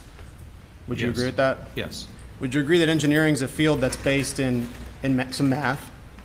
Is that fair to say? There's a lot of math in engineering, yes. We, we heard a lot about trigonometry and angles, I mean, math, right? Yes. Engineering's based, uh, a lot of, uh, is, is based in, um, hard facts. Would you agree with that? Yes. And, uh, engineering, some of the things that really have no business in engineering would be guesswork. Is that fair to say? Well, in engineering, you can sometimes make assumptions and then make guesses, but you always have to go back and test them. That was right? You- You develop, well, we Excuse call them me? hypothesis, How many right? So decibels was that? You look at the problem, you try to figure out what the problem is. You form a hypothesis, and then you test it. So, you know, you might say, well, I think this. And then you either mathematically or physically Yeah, I like test it. this prosecutor, one of the Going back to out that question about guesswork though, because I don't know that you answered it. In engineering, is it Yep. important not to use guesswork in making opinions? Right, if I give an opinion, I'm not guessing. So whenever I give an opinion, And he there stays at is the, a, yeah, he stays at the podium. a foundation based on my education, experience, and training for me to give that opinion. So if an opinion's rendered and there's variables that aren't considered, would that be, would you consider that to be guesswork? Well, it depends on how important the variables are. I mean, w- any engineer in, in, in any analysis procedure, you know, there, there could be lots of variables that don't matter. But if the variable matters, then of course, you know, that, that would affect your opinion.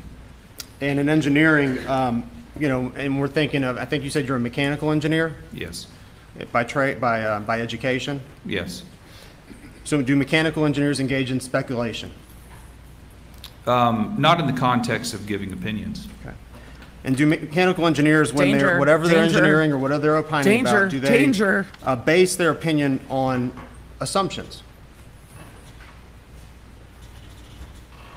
Not primarily, not even really. um, Your opinions can't be based on assumptions. Now, Hypothesis. there can be Testing. aspects of your analysis that you have to test, but just, but, you know, whether it's an assumption or a guess, that does not make for a good engineering opinion. Appreciate that, thank you. By, are you a member of any, I have you had any that. formal training in pathology? Here we go. No, Have you had any formal training in firearms or firearms, um, how they, how they work? no, Are you a member of any organizations um, that, that do that line of work, that, that do tests on firearms or, or pathology? If he, is he going to ask if he's board certified? Are we getting there? These are good Have you questions. taken any shooting incident reconstruction classes? No, probing his expertise? Do you have any certifications in shooting incident and reconstruction? no, Do you have any, have you taken any classes in gunshot wounds? no, Have you ever done any studies on bullet trajectory from, uh, out of the muzzle of a gun? yes. Okay, what studies have you done? I've done all kinds of testing. All right, such with- as? for- For instance, um, one time I had a case, it was a murder case where a person was shot through a car door and uh, was shot with a 357 Magnum. And the door had maybe six bullet holes, and each of the bullet holes had different characteristics. So I went, so I went to the junkyard and got 25 to 30 of these doors.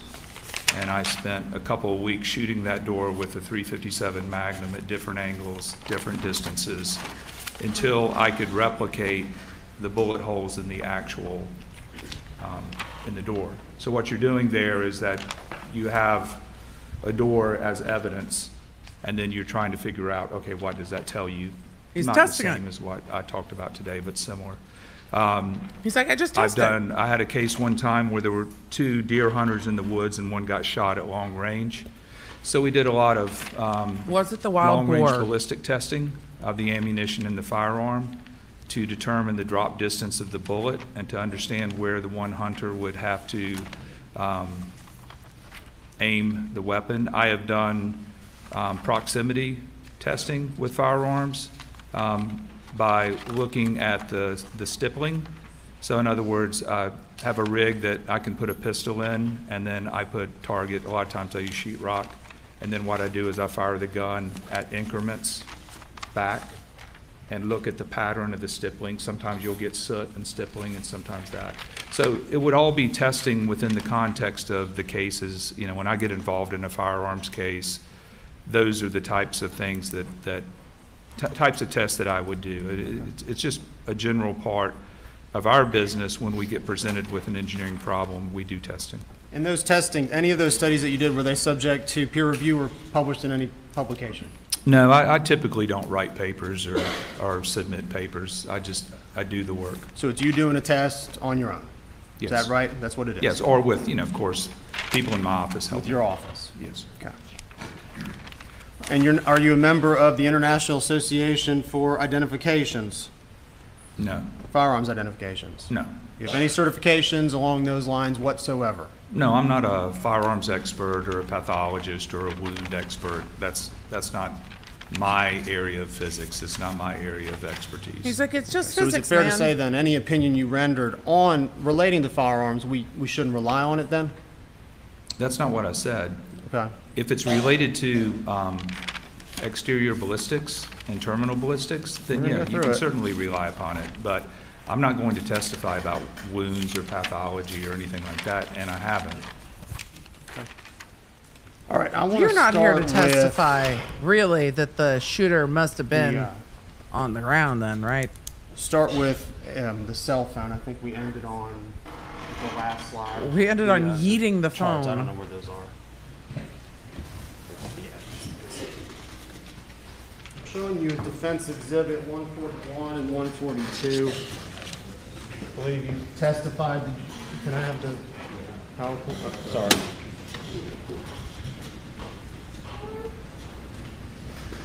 I believe you testified that you created these graphs, is that right? Uh, No, I didn't. This is, this is an Excel graph from the data. So it's just the raw data that, that, that was presented to me. Oh, Kelly Bean, I'll answer this. We know the answer to that in evidence about the dog kennel Who video. created it then? I'm From not sure. I. I just reviewed it. I'm not sure who did this.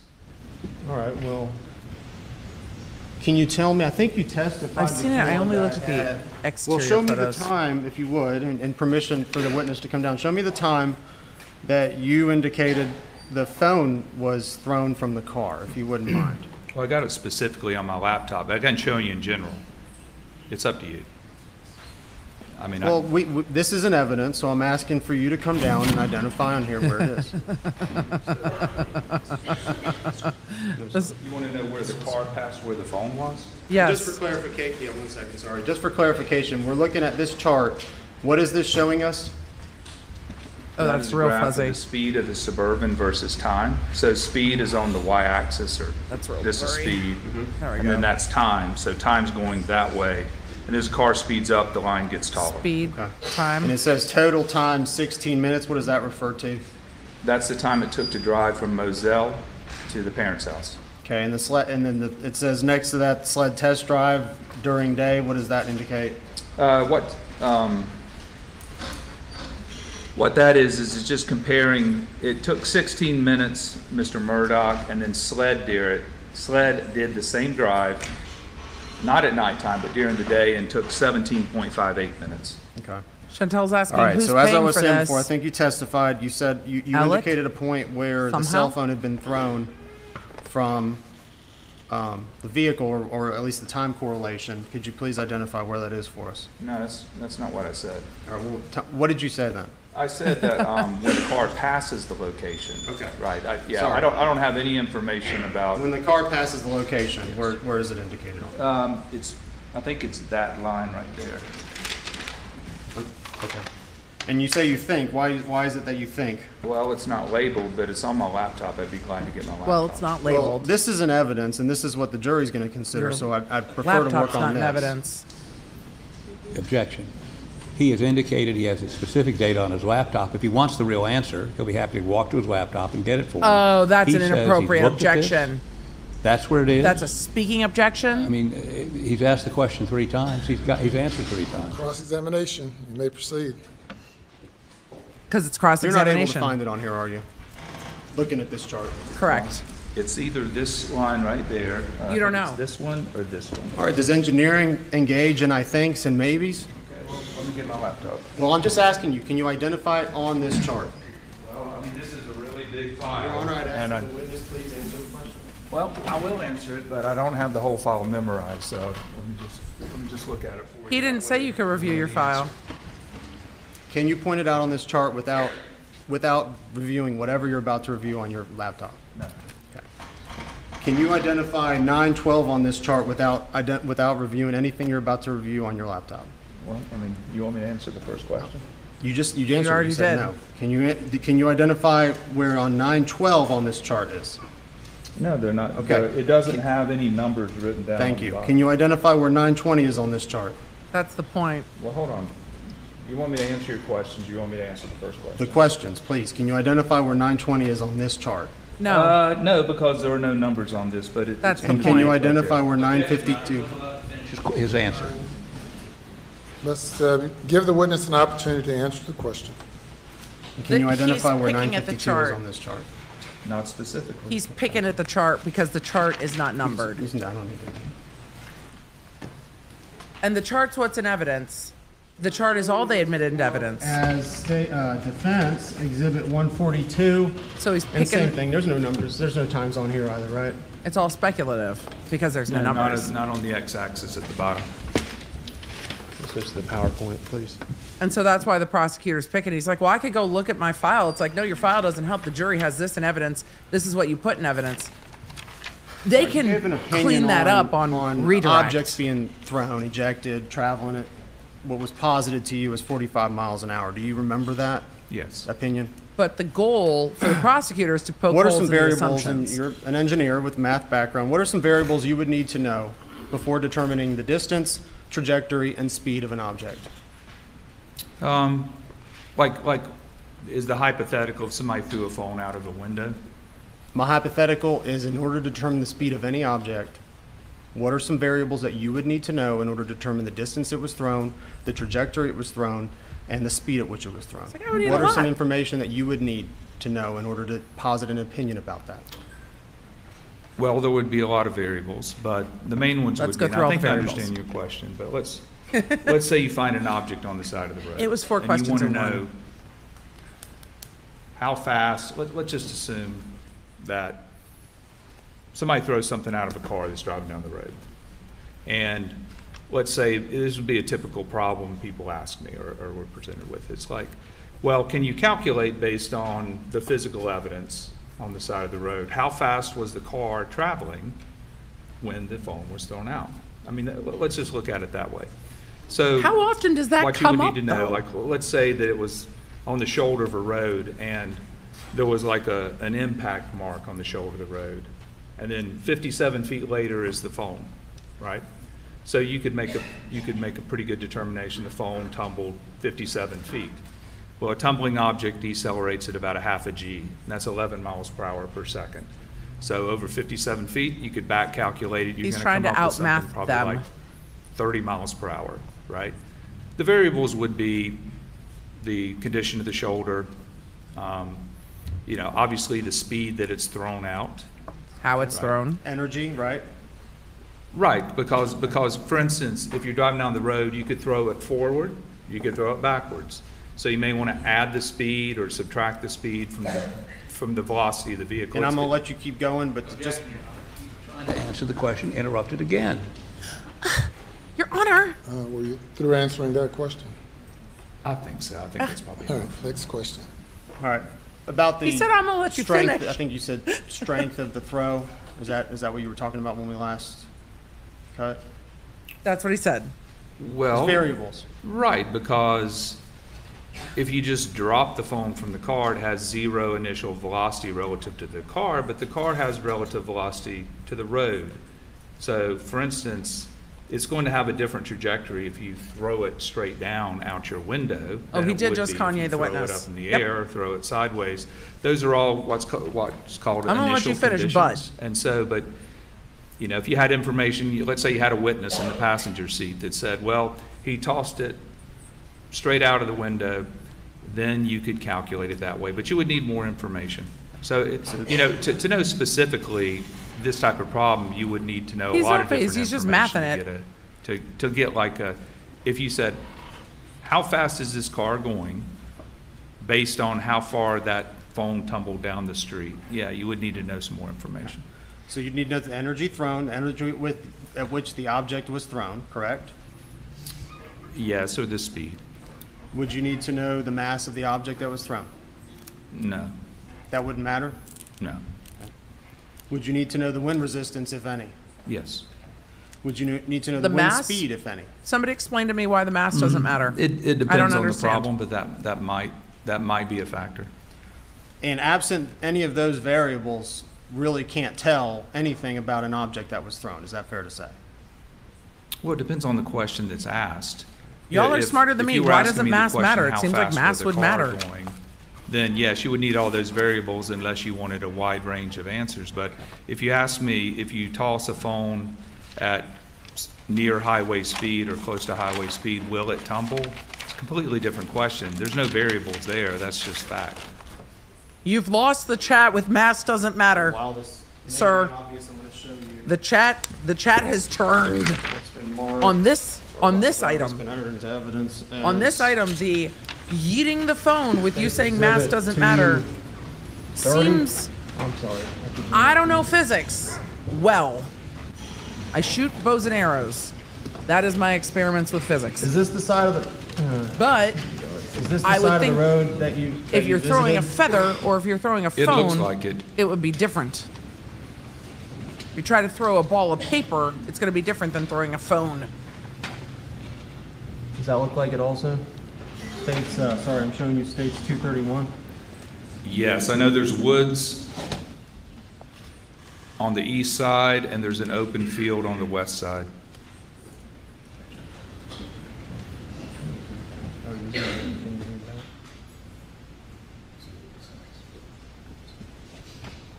I think that this witness was asked this at the spur of the moment and was pontificating perhaps outside of where he should have been pontificating. I think I just sloshed water all over my desk. That's delightful of me.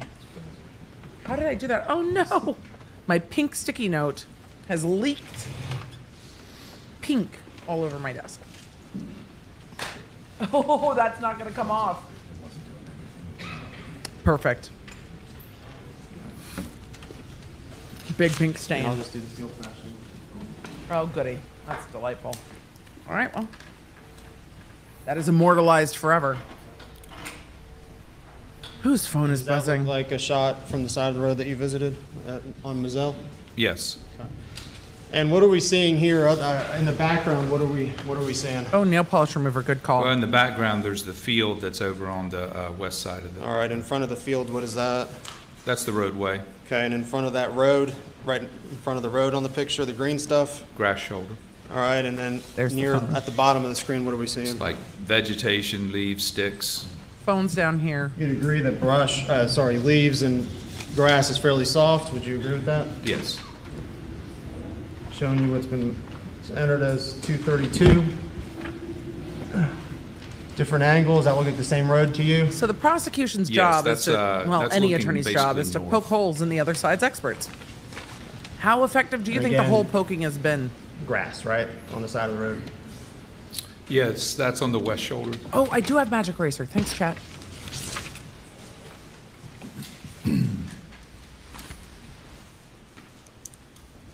Oh yeah, these are back. These are country roads. All right, When you do sound studies, is it, have you, have you done work, is it primarily for like OSHA-related things? Or I know you mentioned some companies. Is that what the sound studies have primarily been for? Um, It's, it's typically the, the work that I do now. Is because the I- sound studies? Uh, yes, the acoustics measurements that I do typically would be related to train whistles, train horns, emergency vehicles. Ah, um, We heard those alarms today. Where, say, somebody gets backed over with a truck. Uh, Audibility of backup alarms. I've had audibility of warning alarms inside of a factory. Like, you know, could a worker hear the alarm and then get out of an area that was dangerous? So it's usually emergency signals um, is typical. I have worked on a criminal case where it wasn't a gunshot, it was a woman screaming. And could, could a particular, they call them ear witnesses instead Was there a sliding door? a particular ear witness hear a woman screaming at a, at at a distance? And so, And it would, would that be for workplace considerations? There was some accident at work and it re- maybe relates to OSHA? now, this was a murder case. Oh, so that- the other things you mentioned pri- previously, sorry. Uh, no, the other ones, I mean, typically are going to be civil litigation. Okay. Where, you know, you, m- you might have a dump truck manufacturer getting sued for not having an audible alarm that's, you know, loud enough or, or just plain, or- or sometimes what happens in a, in a car accident, I mean, a car accident, but like a back over accident, they're saying that the person that got run over Yes, should have heard the chat. truck coming and got out of the way. Just like Ace right? Ventura. So people argue back and forth about who could hear and not hear like a backup alarm.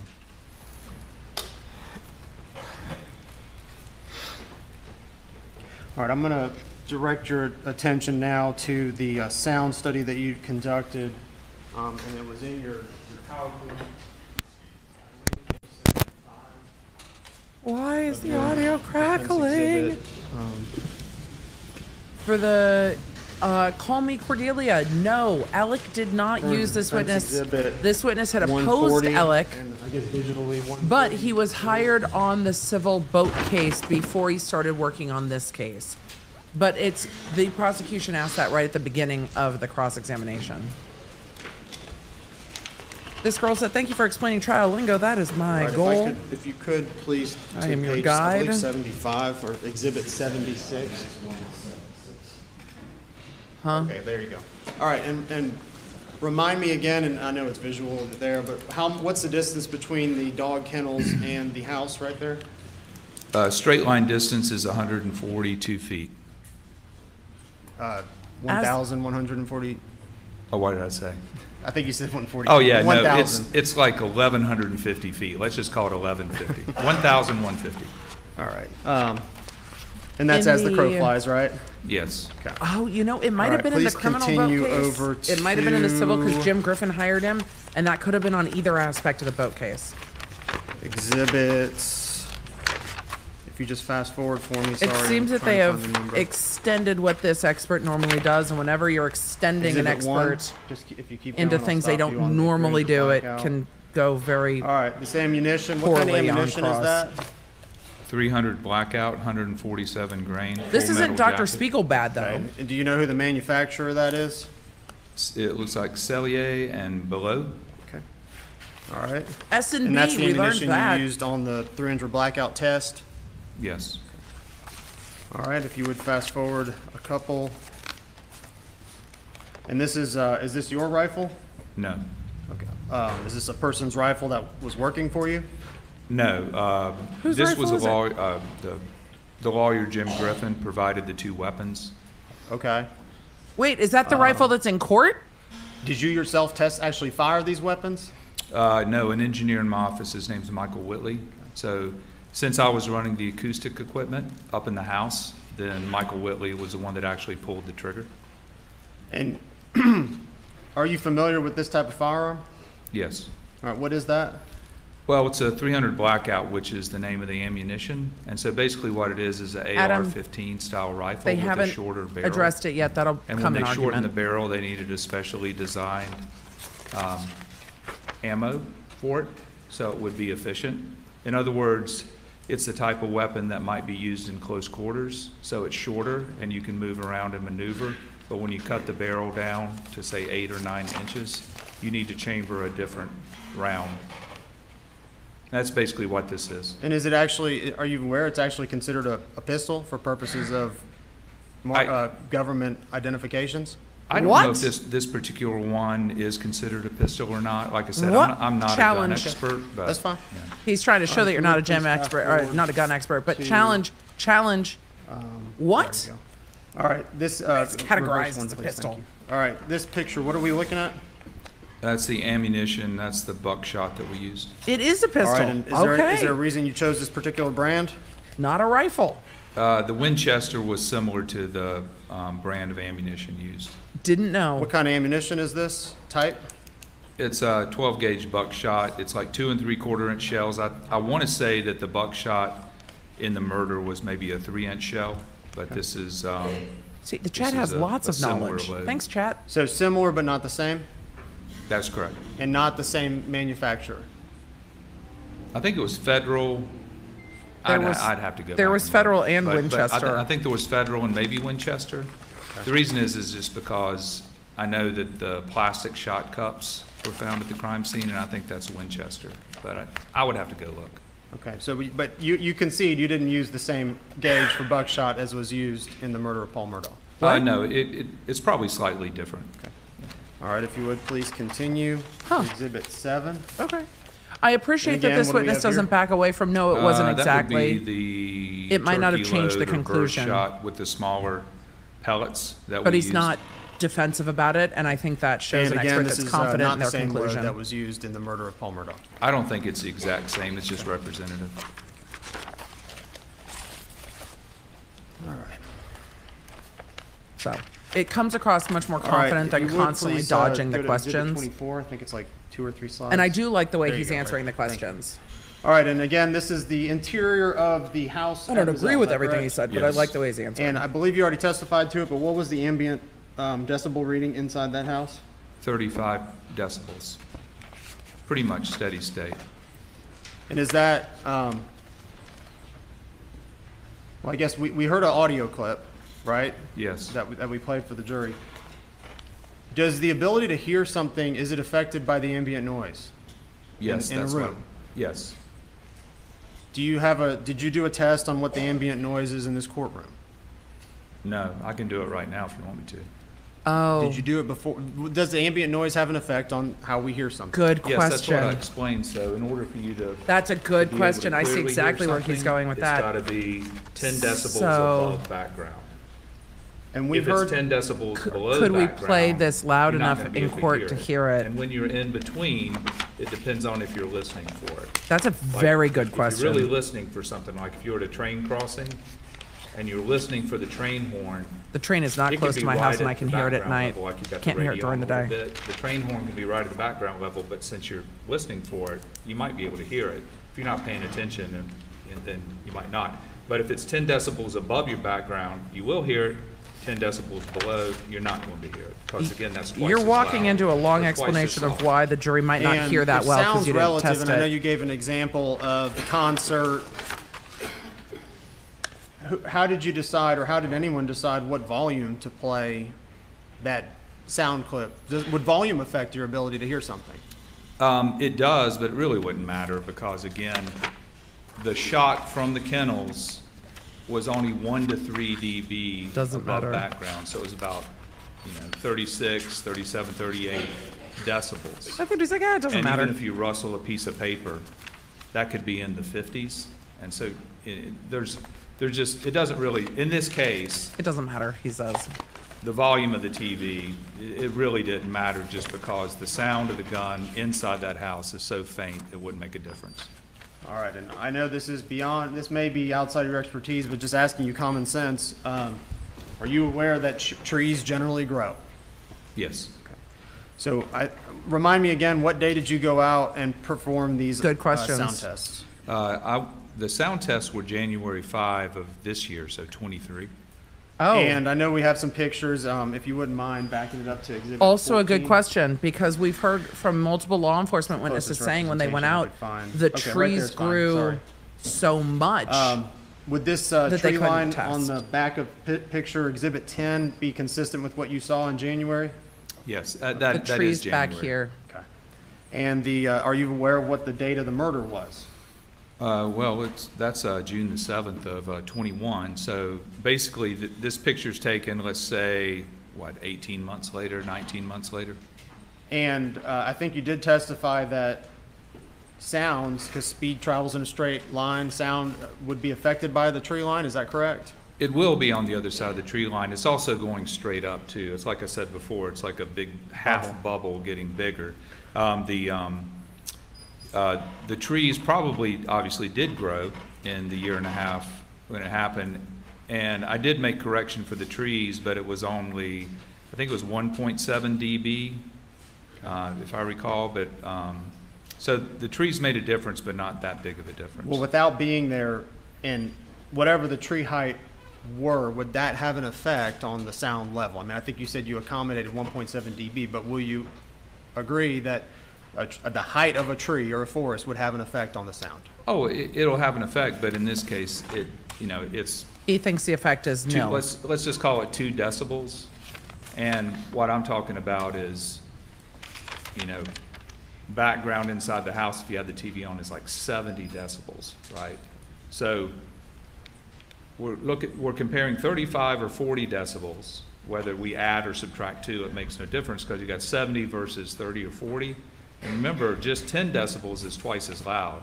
So seventy decibels is many, many times louder. So I, w- I went through the process of making sure that the numbers were correct, but Yeah, his answer is it doesn't minor matter. variables such as wind, humidity, wind speed, um, the trees, all of those, even if you, if fac- factored all of those in, it really doesn't make a difference just because the gunshot inside the house was so faint that you're just not gonna hear it.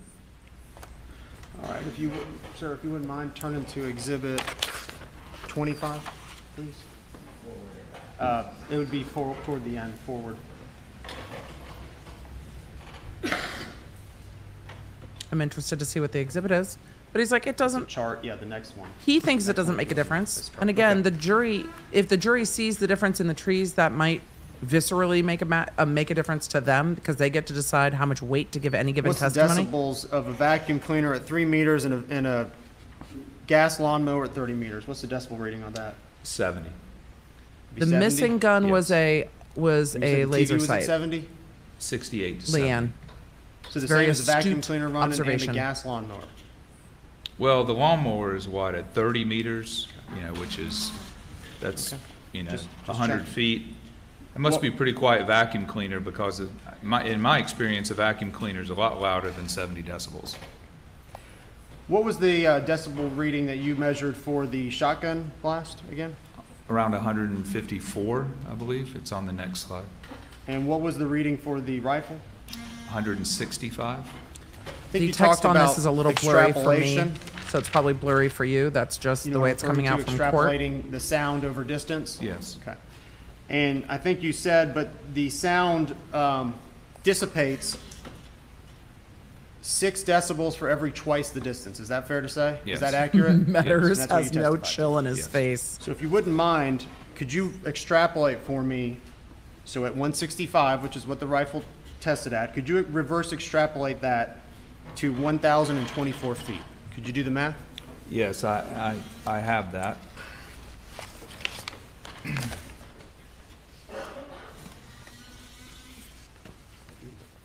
He's making people math on the stand again. I'm just going to take a minute to say, Well, it's hey, actually a slide, um, but I- I've got the chart. we give me a have our second. alert system for email alerts ready. If you want to sign up for them, those So are. what I did was, um, I'm going to list them in the description. I'll pin a pin a comment in a minute. when you add in the attenuation, uh, what distance do you want to know? 1,024 feet? So basically, just like outside the house?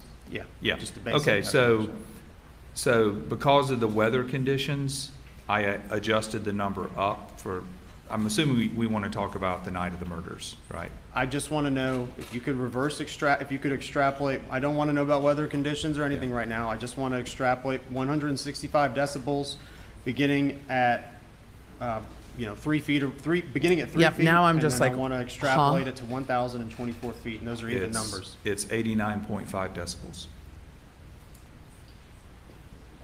Okay. I don't know if the lawyer is going to out Could you engineer repeat that, please? the Yes, engineer physicist. I don't. decibels. This Let's- could go let's very just say badly. you're Just right outside the house. This could go badly quickly. Wh- Wait, wh- what are you saying, right outside the house? Yes. In, inside the house, it was, it's in my other report, inside the house, it was maybe 35 to 38 decibels inside the house.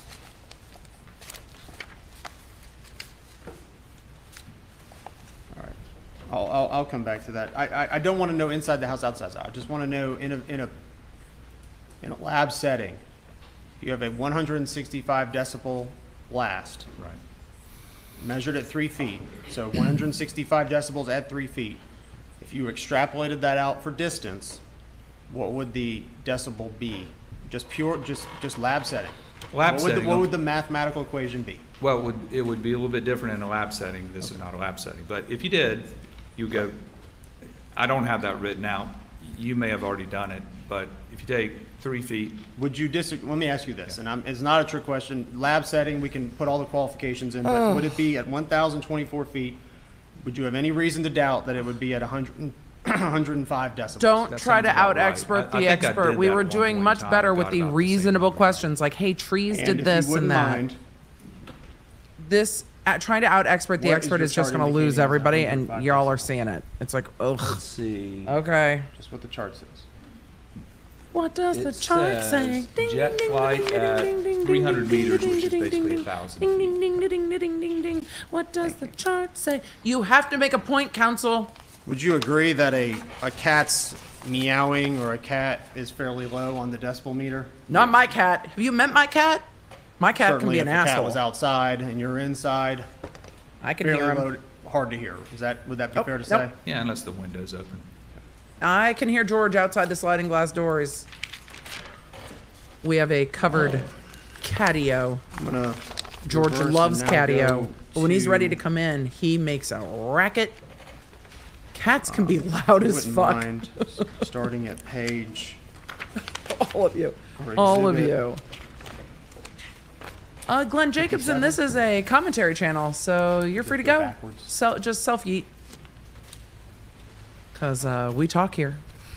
Yeah, you have to keep going. Self-heat. First part of this.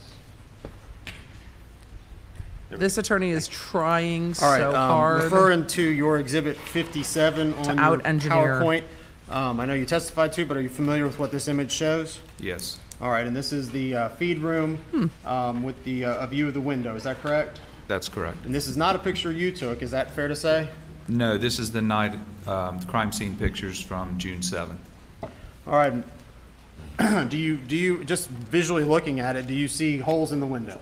Yes, Okay. Do you see a whole lot of other stuff in that picture? On the shelves, in front of it, behind it, below it, above it? yes.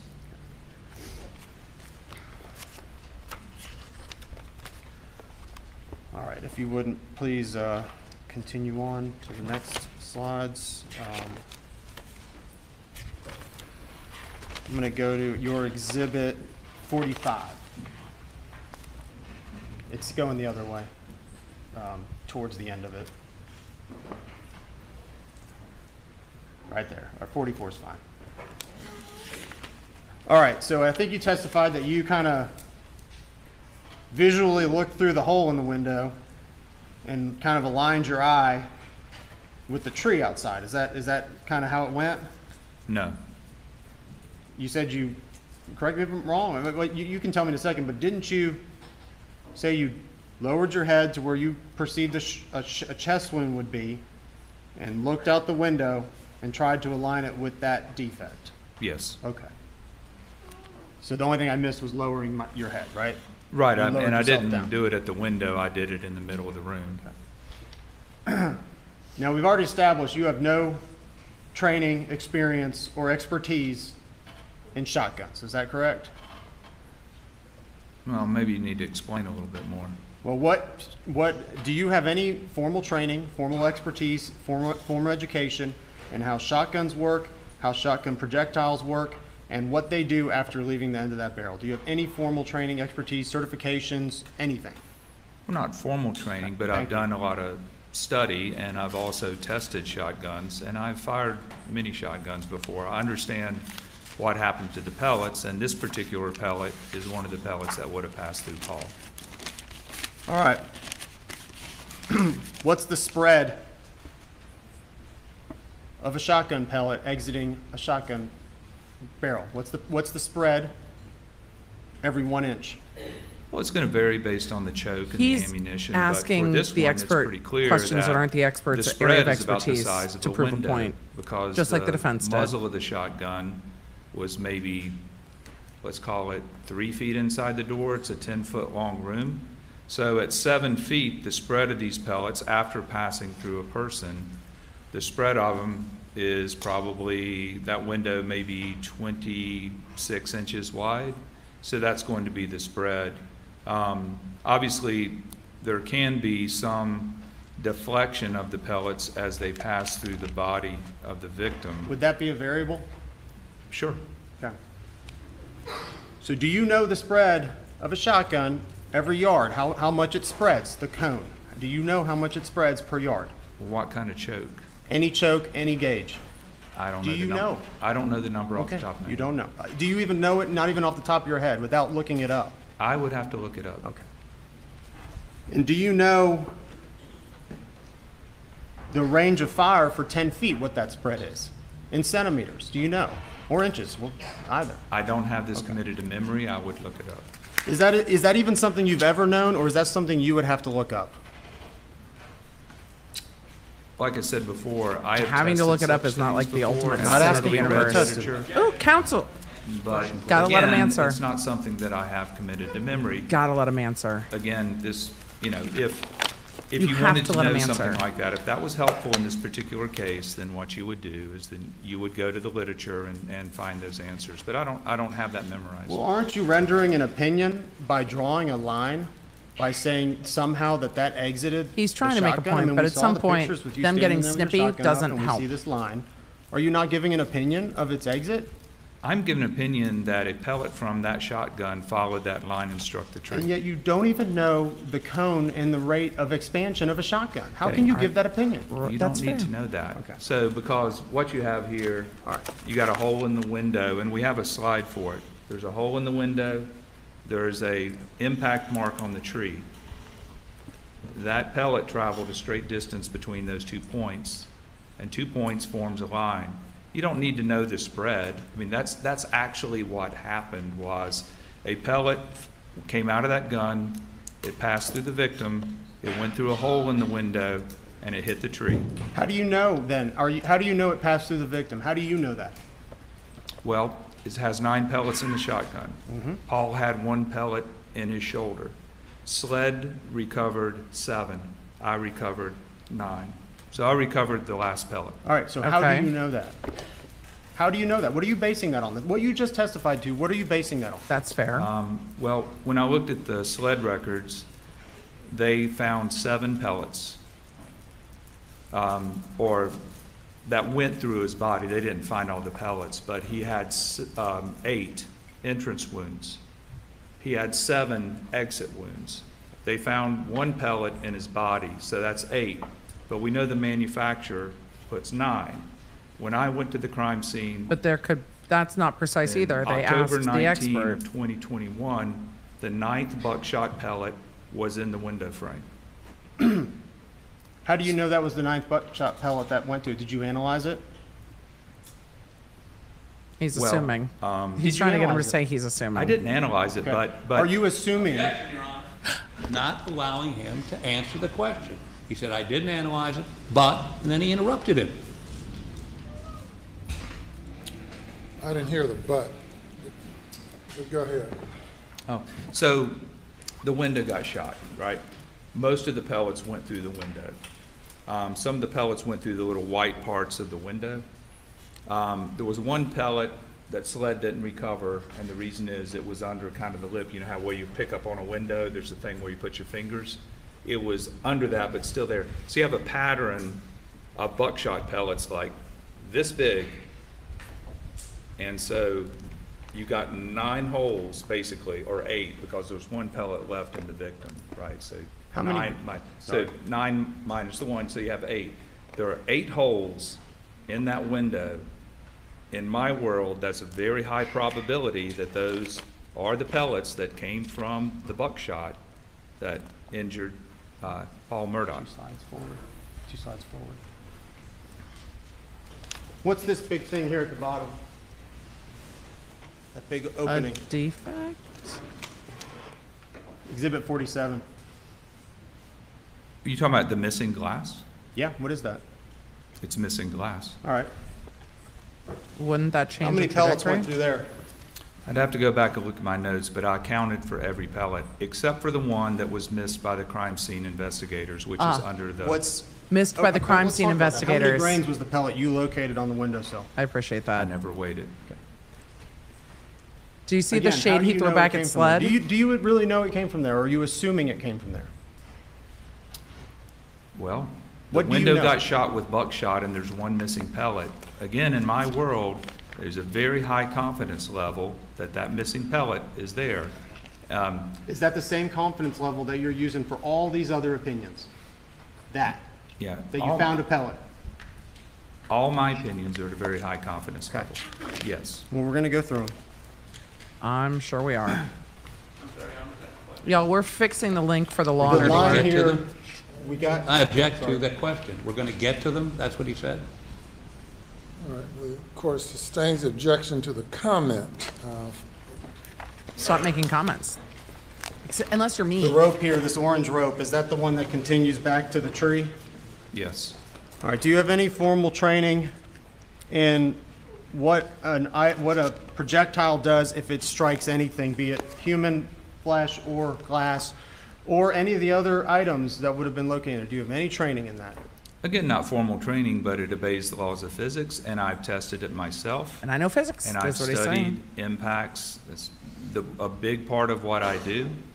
Have you done a test where you shot shotguns through glass, through wood, and through a human body, and then measured where they ended up? Have you done those tests? No, you don't need to test it because you can just look and see what happened to it. So is the answer no? I didn't do any testing with the shotgun here, but why would you need to test? Because the, I think we got the same slide up there. Would you agree with me? Well, I can't ask you a question, but that pellet, that pellet right there went That through was that funny. window. and it lodged in a tree or damaged the tree. Something damaged the tree. I don't need to test that because that's just what happened. I All right, mean, is it's- it, it's- is it your opinion that it can only be that pellet? There's no other possibility? No other possibility? Is that your opinion? Well, I'm, I'm not saying that there might be some highly lower probability, but if you stand in that room, and we have holes, and just like you've shown, they're scattered all over that window, and you look in the direction of the damage to the tree where Paul was injured, that is the only one.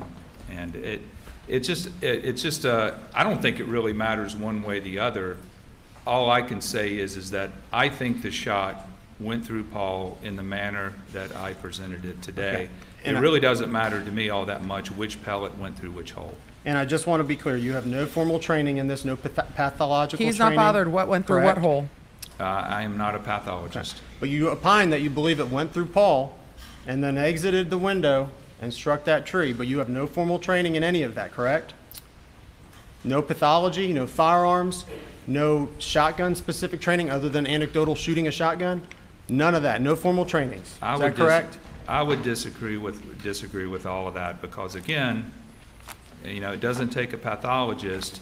There's a small entry wound into Paul's chest, so all nine pellets enter. One remains in his body. Eight leave his body. You are sitting right? here opining And about so- pathology, is that correct? No, see I how don't think that's that's a fair pathology. That's simple math. characterization. It's That's not a fair Nine characterization minus one is eight. at all. There is some, that's uh, based on underlying assumptions, and he Um, can point exhibit- out the underlying I don't know what page assumptions. This is Exhibit 81 or 80? So he could point out the underlying assumptions, but this is what he's doing. So that's where we're at. Sorry, y'all, we had some link, link, link-a-dink issues. When we, when we do something new, we always try to go break it. reverse We'll start. Didn't expect it to break so fast. couple. Yeah, right here. Did you take this picture? No. How many inches does that look like he is tall? Well, you can't tell how tall he is because Then of the way why- this picture's taken. Add the it look like? picture. This shows his shoulder 64 inches. What about his head? You can't tell. You can't see a number at the top of there? Uh, no, because you'd have to be above the top of his head or right in line with the top of his head. The only thing you can glean from this picture is that his shoulder is 64 inches above the floor. Okay. Is he wearing shoes?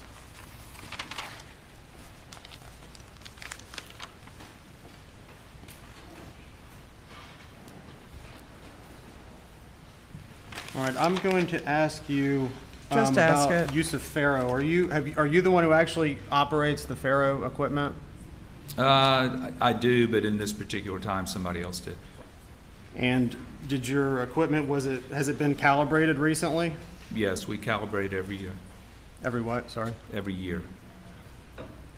Did you actually operate it this night? Rob, I think that's No, fair I for the bullet believe, hole in the um, tree, but for Michael the Whitley- sound, for the Who's a sound, the tops of biomedical the, in my the. Um, pine I trees believe are he was the higher, one that day that was doing the scan. so they could impede the sound. I think it's You fair for the described bullet. Faro as the uh, time, as a sort of a time of flight laser. Is that, is that your testimony? Yes, it uses a laser and it, it, it creates points. It creates a point cloud. Is it fair to say, though, it's not actually a time of flight laser, it's a phase-based laser? Would that be more accurate? I have no idea. Oh my So you don't know? God, counsel. Were they sharks with lasers? I just Beginning at, if, just. hit toward on just the very most valuable points and move on. I, are we arguing over Faro? You used it, SLED used No, it, the, uh, he used it. slide, just the beginning of the Stop it. Defense exhibit. Yeah, like slide one. Just does it matter? I think some of the points in cross were good, but Did then he kept the, banging um, on. He's going to lose the whole point that he The made. addition, I know that we're gonna get to it, but there's some, uh, individuals you put in the, uh, in the Faro report. Did you, were you the one who actually added that 3D render, or was someone else, someone else do it? Uh, no, um, I had several engineers help me on this project. So, uh, Aaron Kiefer is an engineer in my office. He, he did a lot of the work on, uh, the point cloud. And, uh, Matt Kiefer, actually his brother, did work with, um, taking those scanned people and turning them into shooters. So Sometimes, I would say five or six engineers in my office have worked on this. sometimes a good cross-examination knows when to All right, stop. the- What we're seeing here is a quail, the, what, it- what's called the And quail that's- pen, is that, is that your understanding? The getting Yes. snarky And again, this will is not lose a your jury. picture, this was the one taken from the. There's no the need to night get of snarky with this the Uh, incident. witness. This is a. This witness crime didn't scene get picture snarky with the him night of first. the He murder. got snarky first. And next exhibit, please, exhibit sixty-three. So, at some point, Would this be a point, close-up of that? You need to go to the things that matter most and keep moving. The phone was here, good. that's- Is that, that's a paper product? I think you already testified to it, but that's a Then too paper much. type product? Yes, Okay. You can actually see it's like bending, warped because it got wet, yes, so it's, it's pretty thin. yes. All right, and the next slide, please. Now, this is uh, what's purported to be a projectile hole. Is that your understanding as well? Uh, yes, um, that is a projectile hole. And you testified, I think you testified about the, uh, what, what, you tell me, what, what did you call this um, indentation on the right side of that hole? I called it a white mark. The bullet's coming in at 41 degrees, kind of from the right. So that represents where the tip of the bullet first touched the cardboard or the fiberboard. Do you, and I think you already testified this, but you have no formal training or experience or certifications in crime scene investigations, is that correct? I've answered that. It, it all comes from experience and my education. And are you f- aware that there's a, uh, a margin of error for the angles that may be measured in a projectile, especially if it's a soft paper product? Uh, sure. Um, there can be, and also depends on how you measurement, measure it. So I, I took what, uh, Special Agent Worley measured. Like I Caroline said before, Stanbury from looked like Real Housewives of varied a Dubai bit Based on, it didn't match up gave me with this sweatshirt. evidence. That's why I put, My picked a teens range. stole it. I picked a range of one and a half to three degrees. Keep going, next one, please. And right here, we're seeing a, a metal dowel, is that your understanding what that is? I don't know if it's metal or fiberglass, but it's, it's some type of material like that that's gonna be straight. And on top of it is, a- is an angle measurer, is that Yes. fair to say? And they're sitting on top of that hole, which is essentially a paper product, is that right? Yes. Okay.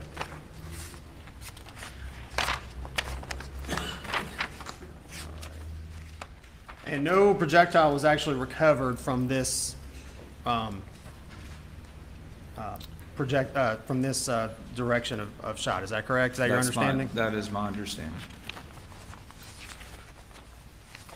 All right, if you wouldn't mind skipping forward to, uh, exhibit, exhibit thirty-five. How tall is that doghouse at its The look he gets when he wears this sweatshirt in public cracks me up. I watched her on Ladies of London first too. We had a great chat at BravoCon. She's just a fun, fun human. We had a really nice time. And the horrible human sweatshirt is great. Lots of paper flipping.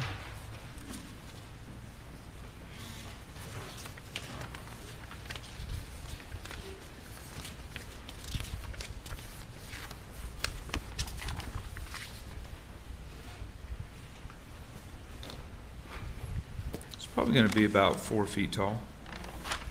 What are you relying on when you say that? Uh, this is, uh, Special Agent Worley's My notes. armpits. Does your Faro scan make measurements of items? I think you testified to that. Now I'm It does. um, You know, if you wanted me to give you my measurement of it, I would, you know, have to open it up. It might take a while if you want to take a break. So you don't know off the top of your head? I do not have the doghouse height memorized. All right, moving forward. It's in And I think we saw here, this is the project, uh, this is the, um, entry spot of the projectile into the doghouse. Is that your understanding? Yes. Okay. Moving forward. Moving forward. And this again would be forward. the same thing, a rod, but this time in a Again, more. all um, these measurements firm, uh, SLED would agree has. the wood in this, in this case is much more firm than, so some of this uh, the. Some of this is exactly paper the same product, as the defense asking Yes, the it's person whose job it's not to do the thing. And it's the same exact strategy. The uh, bullet which appeared to have gone through the doghouse and was recovered from inside, is that your understanding, having reviewed the crime scene? uh, Yes. Crime scene reports? Yes. And do you have any formal studying, study, experience, training, or otherwise on what a bullet might do when it strikes wood or whatever the interior He's of getting the dog to, pen held, including the you earth? don't know if it changes trajectory. Well, again, it- it's Correct. the same line of questioning. It would be based on my experience. I, I, I can't say that I've ever done any specific testing for wood. I've certainly reviewed papers and literature concerning I want to make a joke about testing for wood and I'm typically gonna I stop. Don't, um, go into that area of ballistics. I look more at impact marks and then just the flight path of the bullet, because that's just physics. And then I'm gonna Every time he fast says that's forward just physics. to some of your Faro, ex- um, uh, Faro images. Um, uh, If you wouldn't mind, keep scoot forward a little bit more. You guys can be annoyed with the cross. Don't need to apologize. There was there was a point where this cross was really helpful. Please. This cross was really helpful, and then we wandered these, well um, beyond that point. Don't be like, sorry, I'm annoyed. Just feel your feelings. It's The, fine. uh, We're just here to The watch a good body trial. that's laying there covered in a sheet, that was added after the fact, that's not part of the Faro scan, is that right? That is correct. He made a good point at the beginning, As well as the and now we're here. markers. All right, and um, I know the, the markers we see on this picture is just representative, there's the placards, and this, is this the one where you tried to merge kind of what Oh, this the is an excellent placards were point with in the the chat. scan? Yes. this And the, uh, this is an the excellent little point. circular I trusted you X's, guys is that measured the, uh, properly. Computer-assisted drawing that you made based on the measurements uh, performed by uh, I Special Agent relied on Worley? SLED. That's correct. I relied on the SLED measurements. I, All right, assu- who would I assumed mind people did their forward to jobs. Where we start with these uh, green Might be lines? too snarky, but it would be funny. I wouldn't be mad about it. There you go. All right, and we're- we're looking at exhibit, it doesn't even say, but exhibit with the two lines um, spread out, is that the uh, representative of the two different angles that were noted on this, on the quail pen? Yes. So one, do you know which one's which? Which one's the one degree and which one's the three? Well, the three degree is going to slope towards the ground quicker, so that would be the bottom line, and then the one and a half slopes less, you know, it's, it's more gradual slope, so it would be the top line. Going forward one. And here's where you inserted a 3D um, person as, as a, a a 5'2" person, is that who you Some of these inserted were there? based on Yes. assumptions, which I think is Okay. fair. And you chose to insert a 5'2" individual shooting from the hip in that manner that aligns with that green line. Is that what you did? Yes. Good way to ask you chose. And nowhere on here is any other individual on that green line. Is that correct? You didn't put any other images here. You only chose to put a 5'2" individual slinging a, a gun on his hip. Well, that's what matches. If the person was any taller, then they would have to be towards the quail pen. If they were any shorter, then they would be behind the shooter. Or the shooter would be in a different posture. And do you have any idea if um, a bullet can ricochet? Uh, Of course, They can, right? yes, If they hit something. yes. And You you said don't know, that- because we didn't recover that bullet, but you don't know if that was a ricochet, is it? Is it possible? Um, It could be possible, but um, I don't see any evidence from the crime scene investigation that it ri- it was a ricochet. Okay, but it's possible, right? I think it's very unlikely because of the hole in the side of That's the quail fair. pen. Usually when a bullet ricochets, it'll, it'll, it'll get upset, so the hole in the quail pen should have been bigger. So the shooter, according to your lines here, the shooter could have been anywhere on that line. Is that correct? Anywhere Yeah. on that line. Yes, All right, if we keep going. This is just another one showing them same posture, just on different points See, it went of from lines. Is interesting to that feeling- Accurate? Yes. Overdone. So as long as that's done, and, and we'll not worry about the 5'2", 11-year-old, but if, if, if anyone's on that line, it could have been accurate, right? If any, if that gun is anywhere on that line, according to you, it could have been accurate. Is that right? It could have Yes, been that and- shot, Yes. and anywhere. That's what I explained is, is that the line Right, by that's what I said. definition establishes where the weapon is. Then the next step would be to figure out where the person is, or where the shooter is. I is. just want to be clear. Anywhere from Please. this point, We do all the too. way, I guess, until it hits the, it would eventually hit the ground, right? Correct. anywhere until it hits the ground somewhere back behind where the bodies are located. It's your testimony that it is, that is consistent with what you're seeing. As Yes. long as that gun is on that line. Yes. Sir. So we can just remove the 11-year-olds from the equation. As long as that gun's on that line, it fits with what you're, you're saying your mathematics is saying, is lines up. Is that correct? That is correct.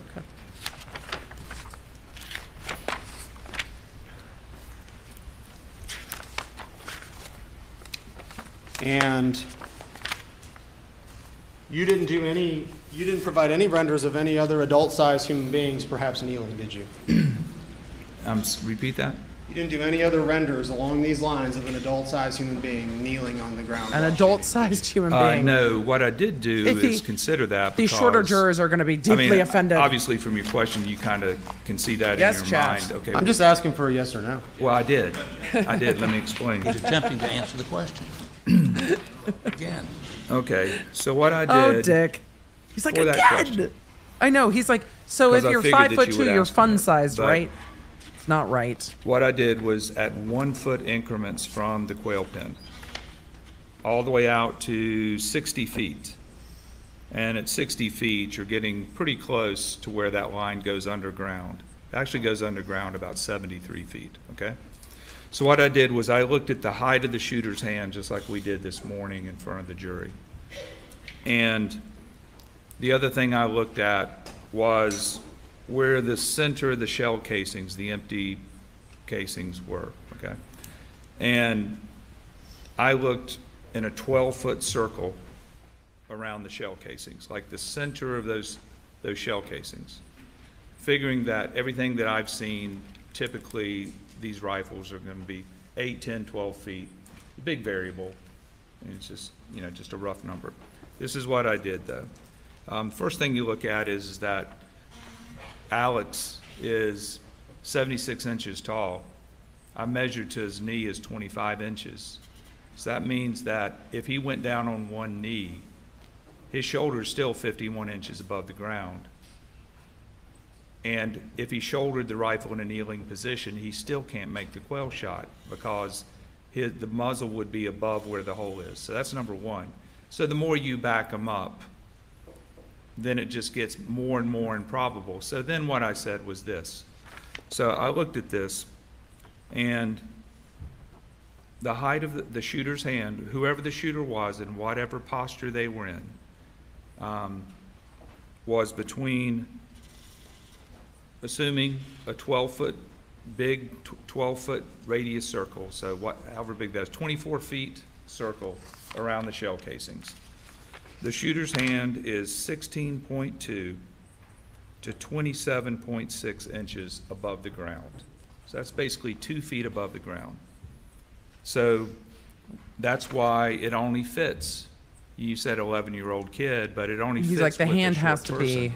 Or Or with some bizarre shooting posture that doesn't match an aiming position or a normal shooting position or just an abnormal shooting position. And we're not necessarily saying it's an coming from aiming is- position. and That's a I lot of invite you, rounds. I mean, with the blackout here, if you want to, try to put this gun twenty-seven point six to sixteen point two inches and tell me that that's not somebody that's very low to the ground. Answer me this. How, how far off the ground is that Too gun close. right there in the 12-year-old's hand? Which one? A 12-year-old. Objection is overruled. Uh, which, which shooter? Doesn't matter. There's no record, nothing in the record about a 12-year-old shooting this gun. Objection is overruled. Uh, let- let's go with the, see the back guy, I call, I'll call him the rear far shooter. How, how high is that gun? So he is, he the is thirty-three prosecution feet from the quail is at pen. risk to making it too ridiculous And and if you pissing off look the at jury. that, Which We'll is see. the one and a half. at But this is going to take forever.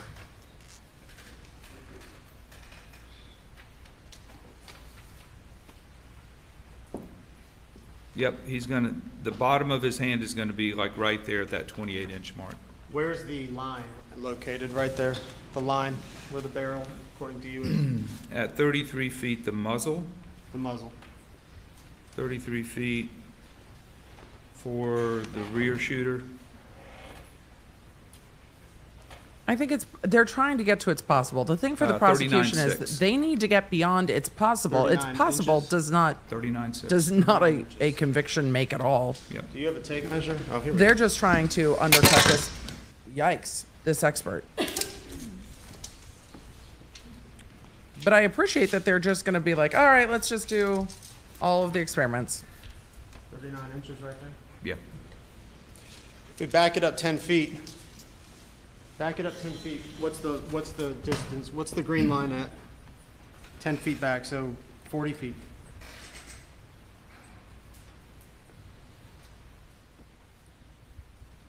Uh, it would be. I think the tape measure is a good, um, 36, a good visual. 0.5. That's three feet, three, three feet 5.5 inches, is that right? That is correct. My finger, that look about right? Yes. Right there? Yes. Oh shit. Right there. Yes. Okay. That's a good. Stop now. Stop now. Counsel, stop now. Stop now. We got this, we got the Stop renders that you went with in these now! two, right? Yes. That was very impactful. Stop now. Right, If we wouldn't fast forward a little bit. Oh, damn it. Great Right here, example. okay. Now So stop. now we got, what's the angle of this um, doghouse that you calculated? That's uh, 14 degrees. All right, and the shooter, the, uh, the you get too far away from that example, they're gonna. Little youth well, there, the youth is how, uh, how far away from that? It was a good example. The youth. If he gets to the two youths, I'm gonna fall out of my chair. This is a double homicide trial. But it's like the youth was how far? 8.4 feet. And how high off the ground is that green line where he, where he's It, standing? that was a good visual. Little guy. That's too snarky. Did you hear him say that little guy? The muzzle is 29 inches above the ground, Too much. 29 inches. maybe 30. 30 inches. So right here? 30? Yes. He didn't lean into that example nearly enough. I he saw it. 30 inches when you're up close, right next to that dog He had a point. So what happens then when you back, I see the line, it's, it's going upwards. So what happens when you back up? I mean, soon it's gonna be over the little guy's head, right? Yes. But what happens if you're not such a little guy? If you back up, I don't know, let's back us up five feet, what happens? Let's see, so that would be about uh, 47.4. Forty-seven point four. Let's see, that about right? Yes. I can bring it closer. Yes. Forty, um, you see it? Yes. Okay. Forty-seven point four. It's right there. Yes.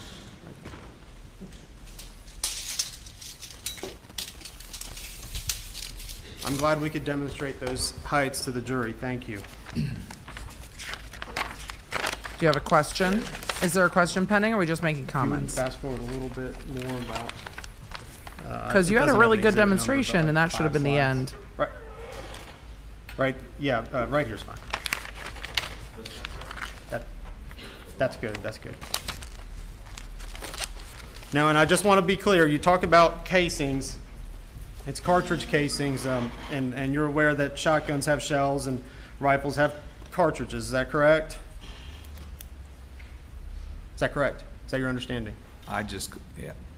I call it a rifle cartridge, but a rifle cartridge would be the bullet and the casing and the charge, the charge, uh, the gunpowder inside the, the casing, but I call them rifle casings. Okay. Well, I mean, before you just called it shell casings, I just want to be clear. All right, so the, uh, and you talked about, I know you spent some time talking about. Some talking point about you the lose a good point when you keep of- going. Of cartridge casings from a rifle or an AR style rifle. Um, But you have no training or experience in that, other than the Ugh, s- we don't care studies, the- anymore. the studies you've personally conducted, is that right? That's correct. In Okay. literature, which again, for this rifle, it's supposed to be three o'clock to four thirty, which is forty-five degrees behind, but it can be forward.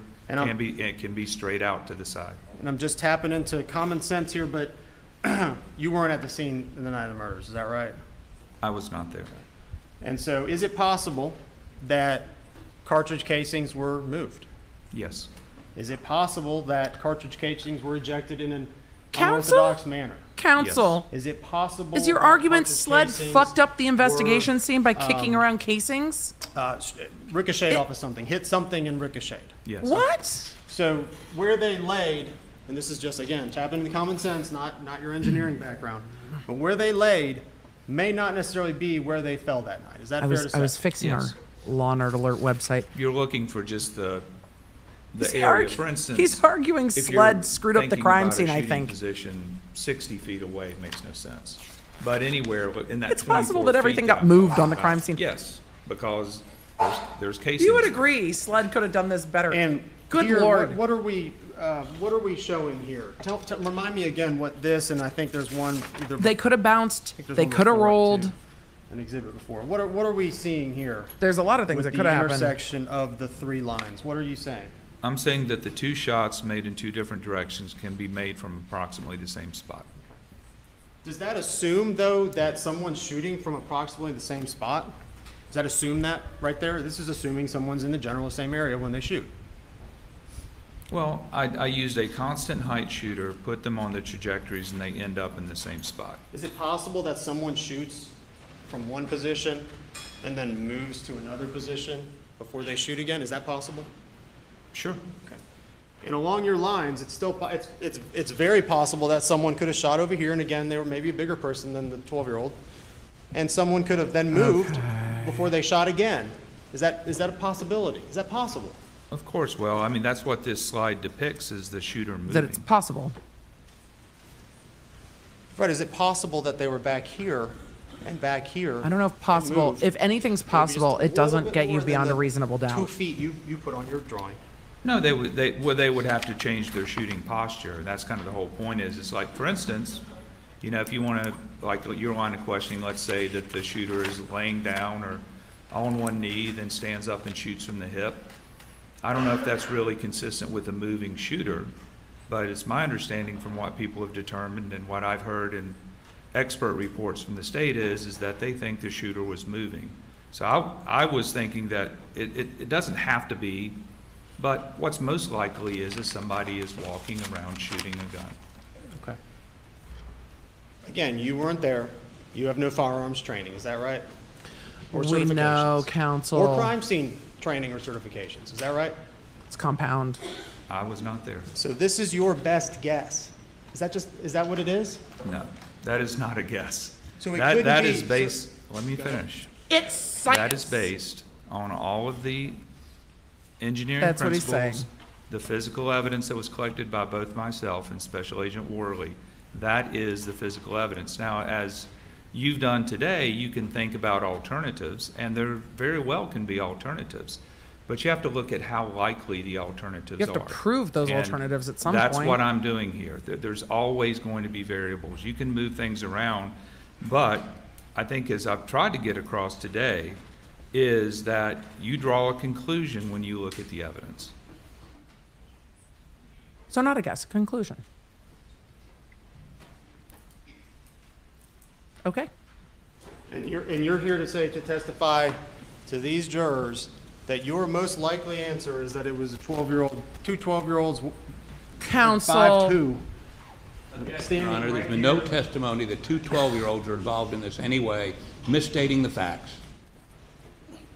Sustain the objection. Assumes facts, not in You're saying, evidence. though, that two five-two, Humans. we can all guess approximates what size individual or age of individuals.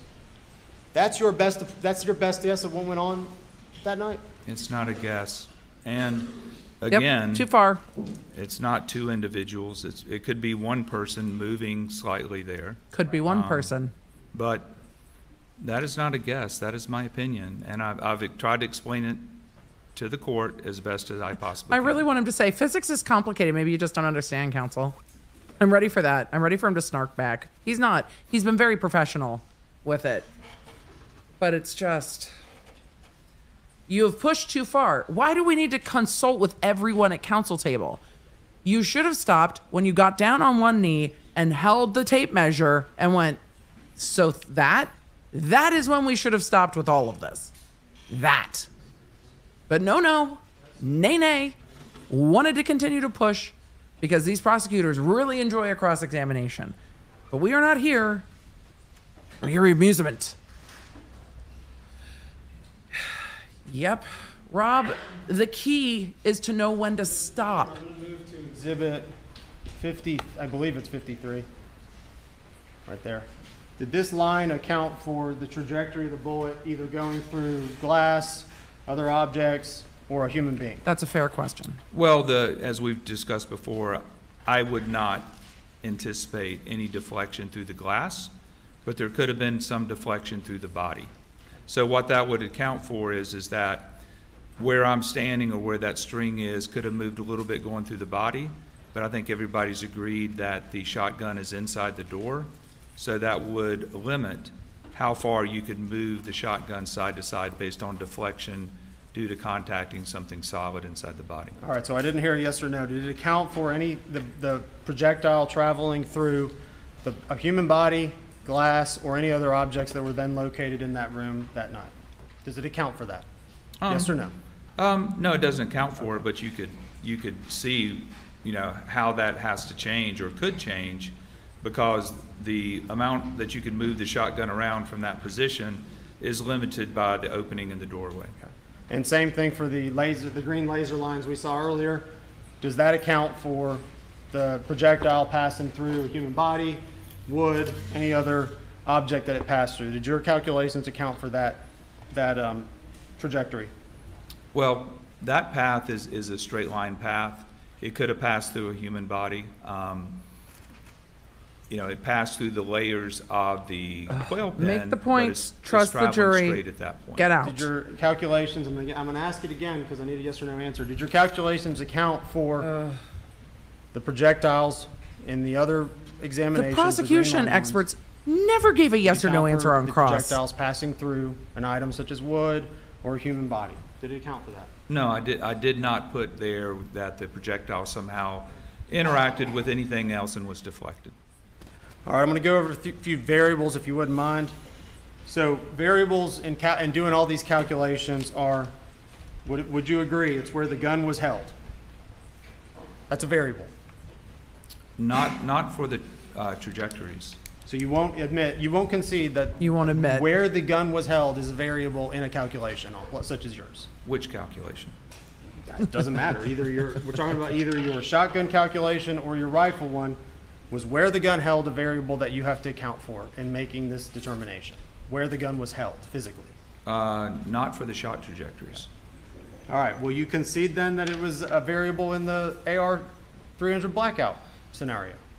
No, the shot trajectories, it doesn't matter where the gun is being held. So where the gun's held in your mind makes no difference? No, the What? gun is on the shot trajectory. I think All I've right, explained is it a variable of how the gun was held? Why? Uh, no. Not a variable. Is it a variable if the move, if the party uh, shooting was moving? Again, no, the barrel of the gun was on that shot line, in my opinion. Is it a variable if the party that the bullet Why- would've why- potentially passed through was moving? Is that a variable? No. Is it a variable to you if the party was jumping or ducking? Is that a variable to you? No. Is it a variable if the party was maybe He's turning like, no, side to side? the gun that even is here somewhere. Not for what I've done. He's Okay, like, the so gun has to be no on the everything I just trajectory. asked, And all of those, you would live agree, all now. those variables that I listed include motion. Is that right? I have Yes, snacks. those would all be if you were trying to figure out the orientation of the person that was shot, which is something that I did not do, and that's something I don't do. It's not my field of expertise. This guy's been very good at staying consistent and not getting annoyed when the prosecutor is being annoying. And I think it'll make the jury find him more believable at this point. I think the kneeling with the tape measure was the most effective part of this cross.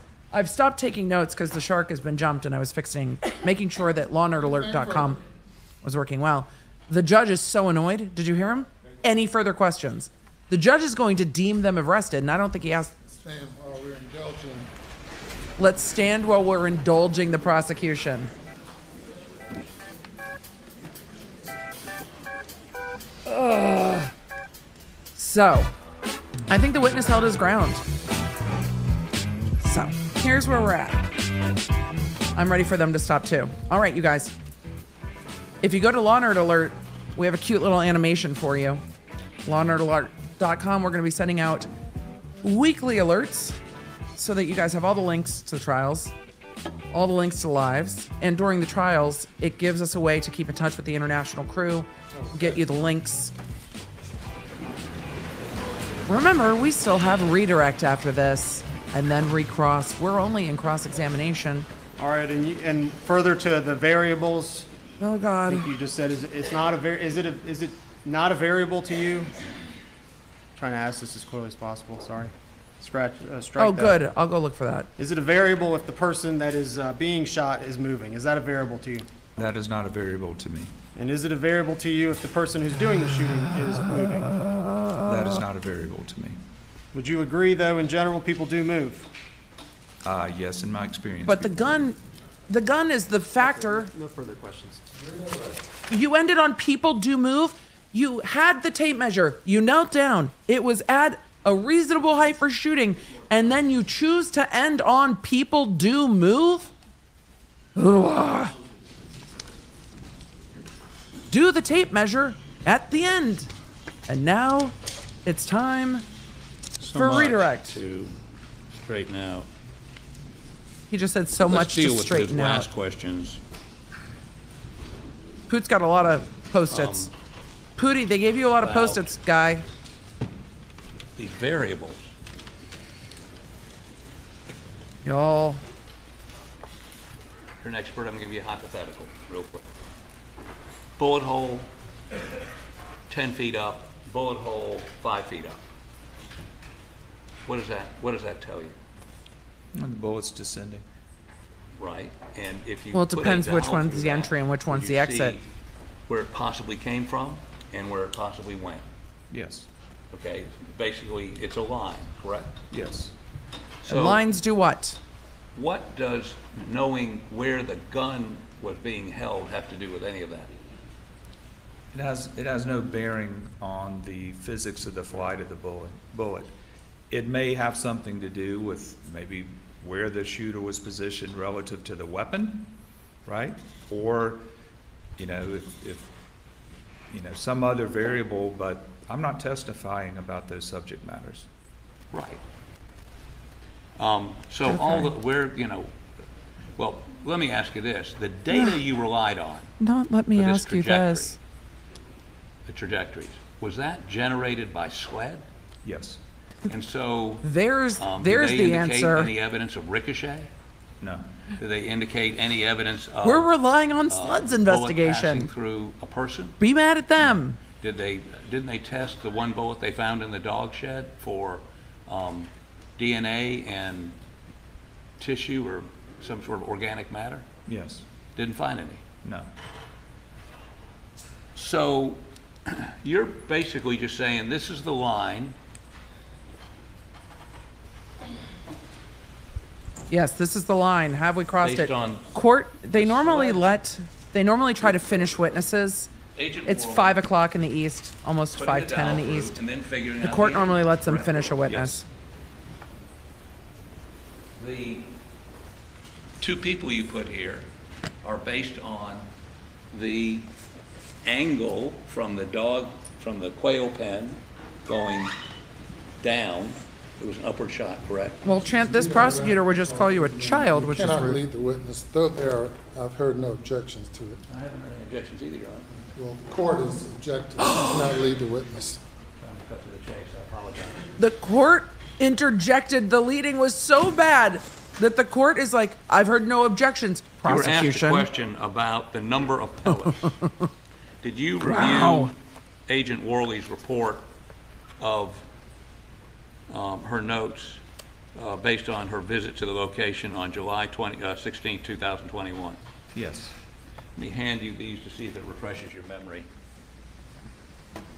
I said it was unlikely that this judge would raise his own objections, and here on day 21, we've we've broken that dam. And the judge thought that the leading was so egregious that he decided to bring his own objection, and then subtly chastise the prosecution for not properly objecting. Let me see it, please. He said, "I'm just trying to move things along, Your Honor. And I'm just trying to get to the answers I want." Any objection to putting this into evidence? I object to all of it at this point. We're on day 21.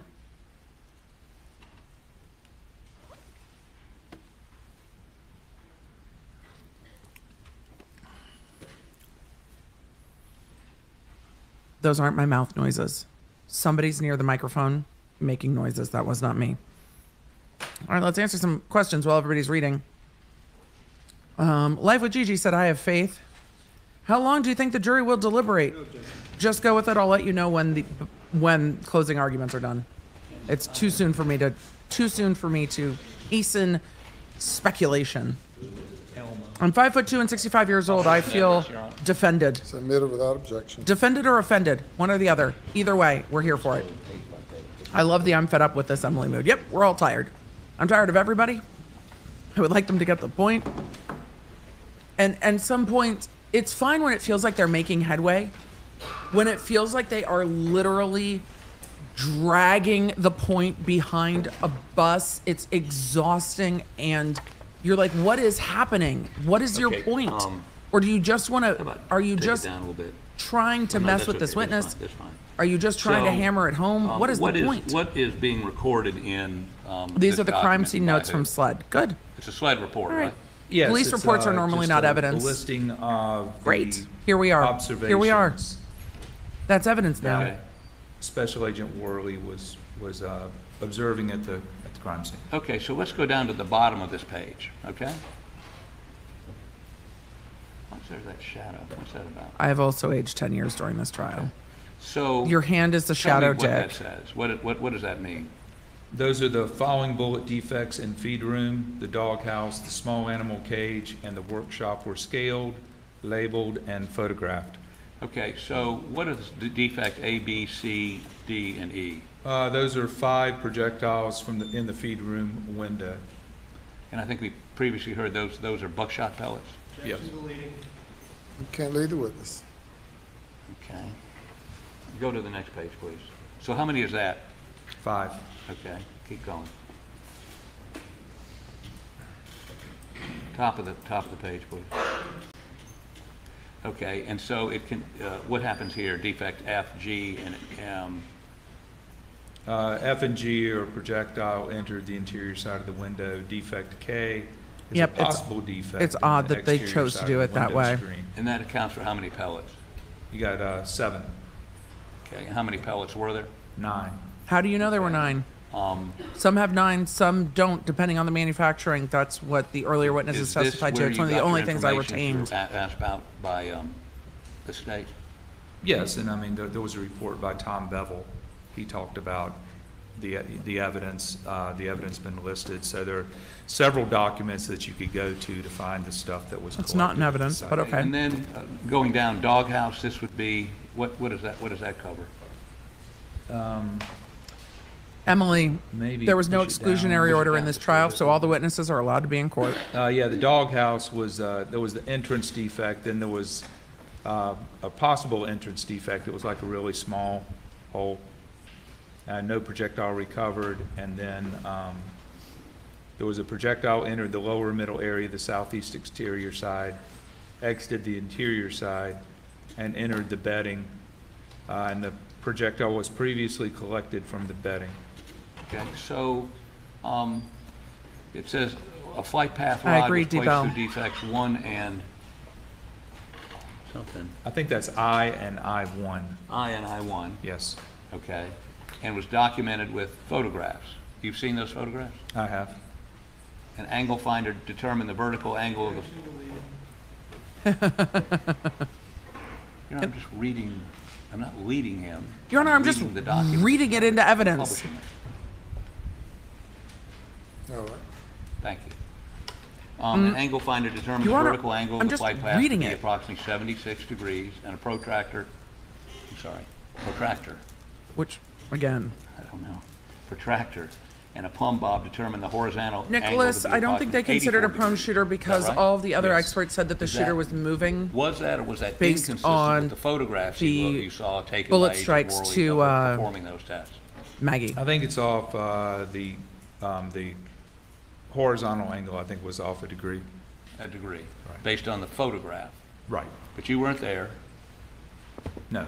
So you're looking at a photograph and saying it's off a degree. but maybe Kirsten, she keep had me a better posted on how you like those all dressed Could she have ruffles. had had a better perspective than you did than what you saw in the photograph? Yes. Okay. Um, small animal cage. um, that says defect J, pro- projectile entered the exterior side of the cardboard on the southwest end of the cage, exited the interior sides of the cardboard and the chicken wire.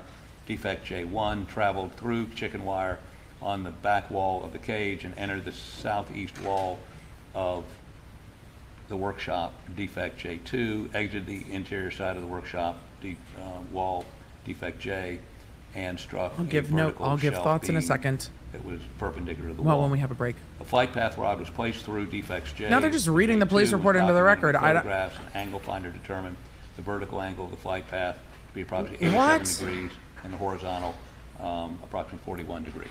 And is that consistent with the photographs you saw? Yes, except for the one that, that's three degrees. Right, And that's then- three degrees, and And you then there saw- was one with one and a half, and again, for the And reasons I've that's why we see stated. the two paths, you do one at one and a half, one at three. Now, LK, in the any of nerds this, and did I you say go read study. anything about? You're not missing anything. a, um, I'm not quite done yet. Um, I'm done with that one. About ricochet, or any biologic material on anything, or anything that indicated it passed through a person, or a wall, or anything. Was there anything recorded by their agent that would indicate any of that? That was collected by their agents that would indicate any of that? No. Okay. Now, what, do you know what Stop this there. is? You made the point. Uh, This is uh, Agent Worley's drawing of the window. You made the And what does it point. indicate? Uh, It it indicates the seven buckshot pellets that pass through the window. Okay, how about let's see the other, the other one?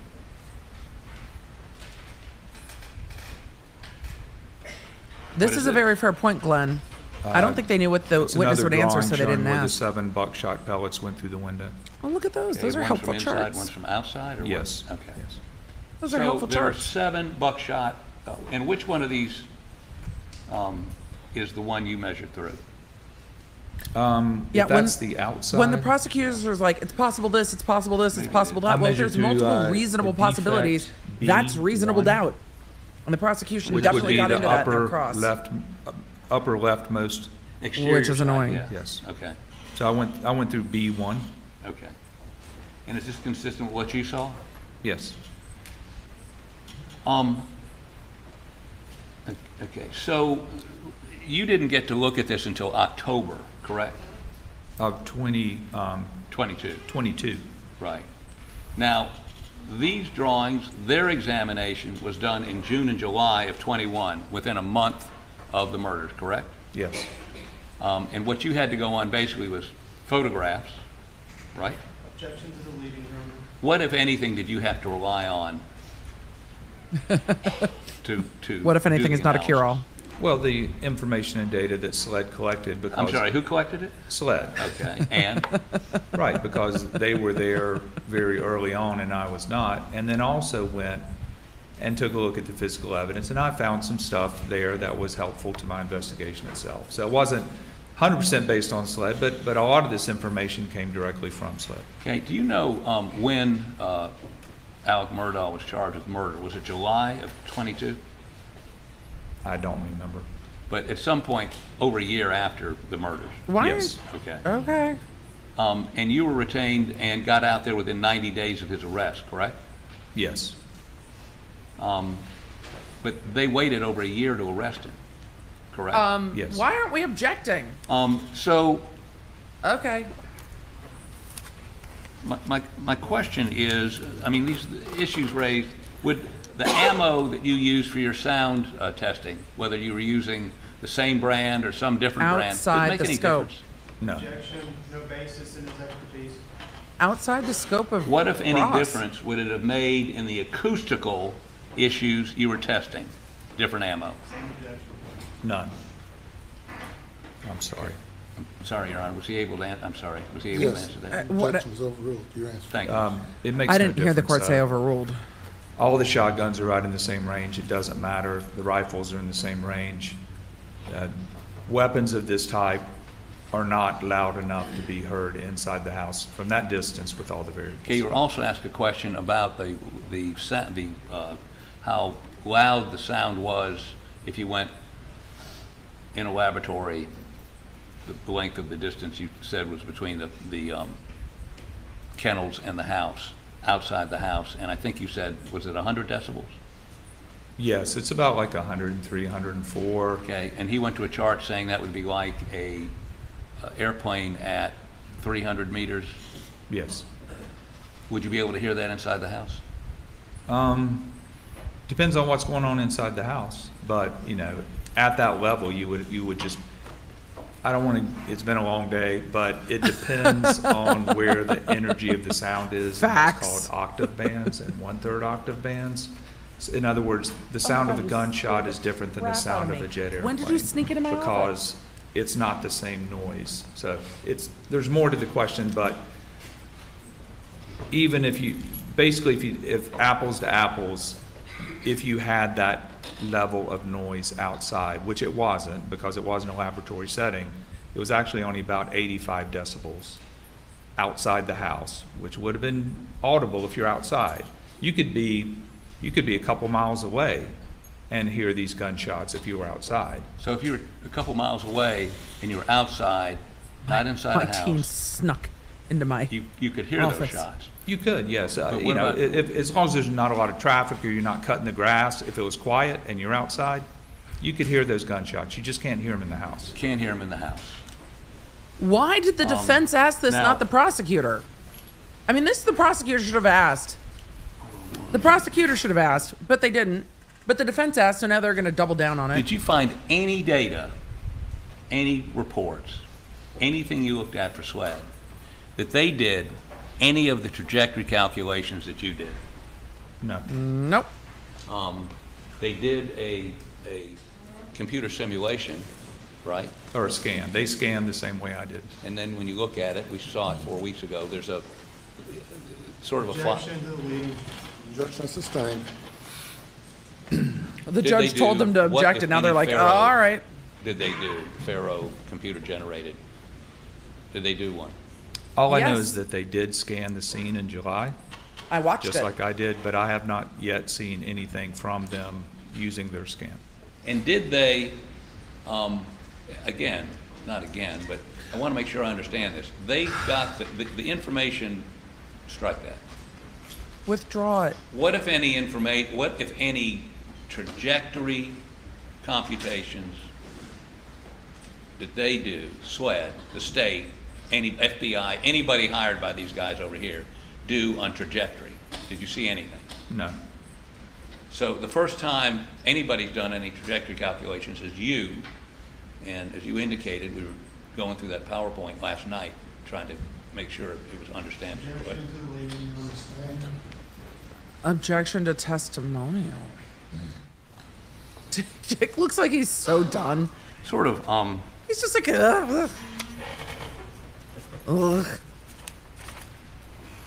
one last question. Promise? Was there anything to prevent SLED, FBI, anybody from doing the same calculations you did? Well, just two, la- two last questions.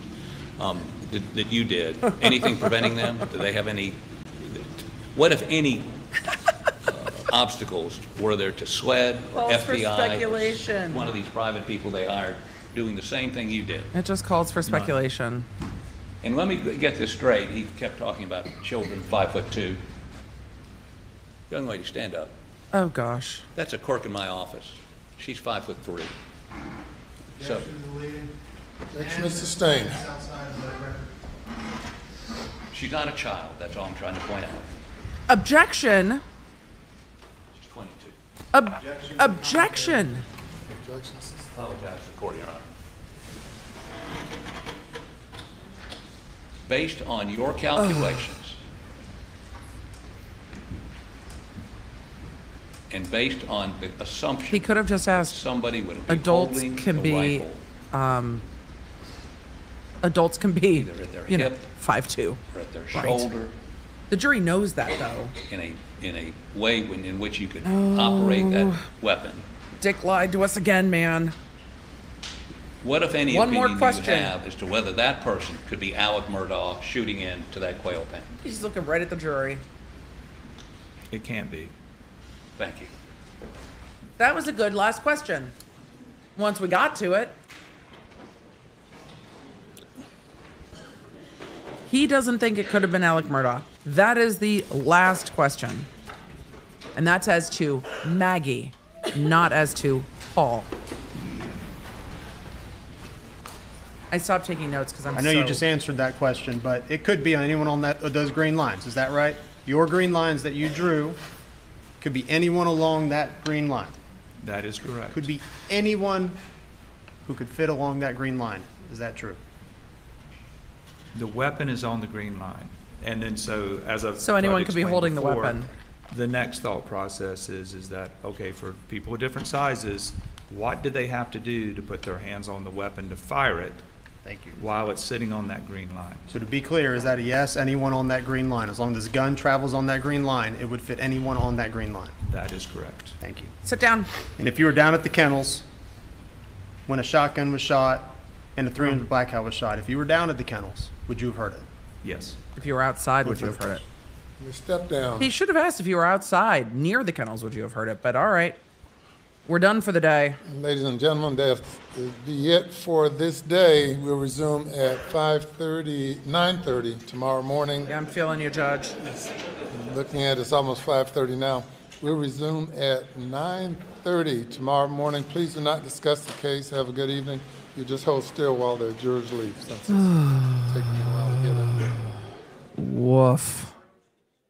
The judge is done. I am done. Y'all are done. Let's see if the judge has anything to say to the attorneys. I bet that he does.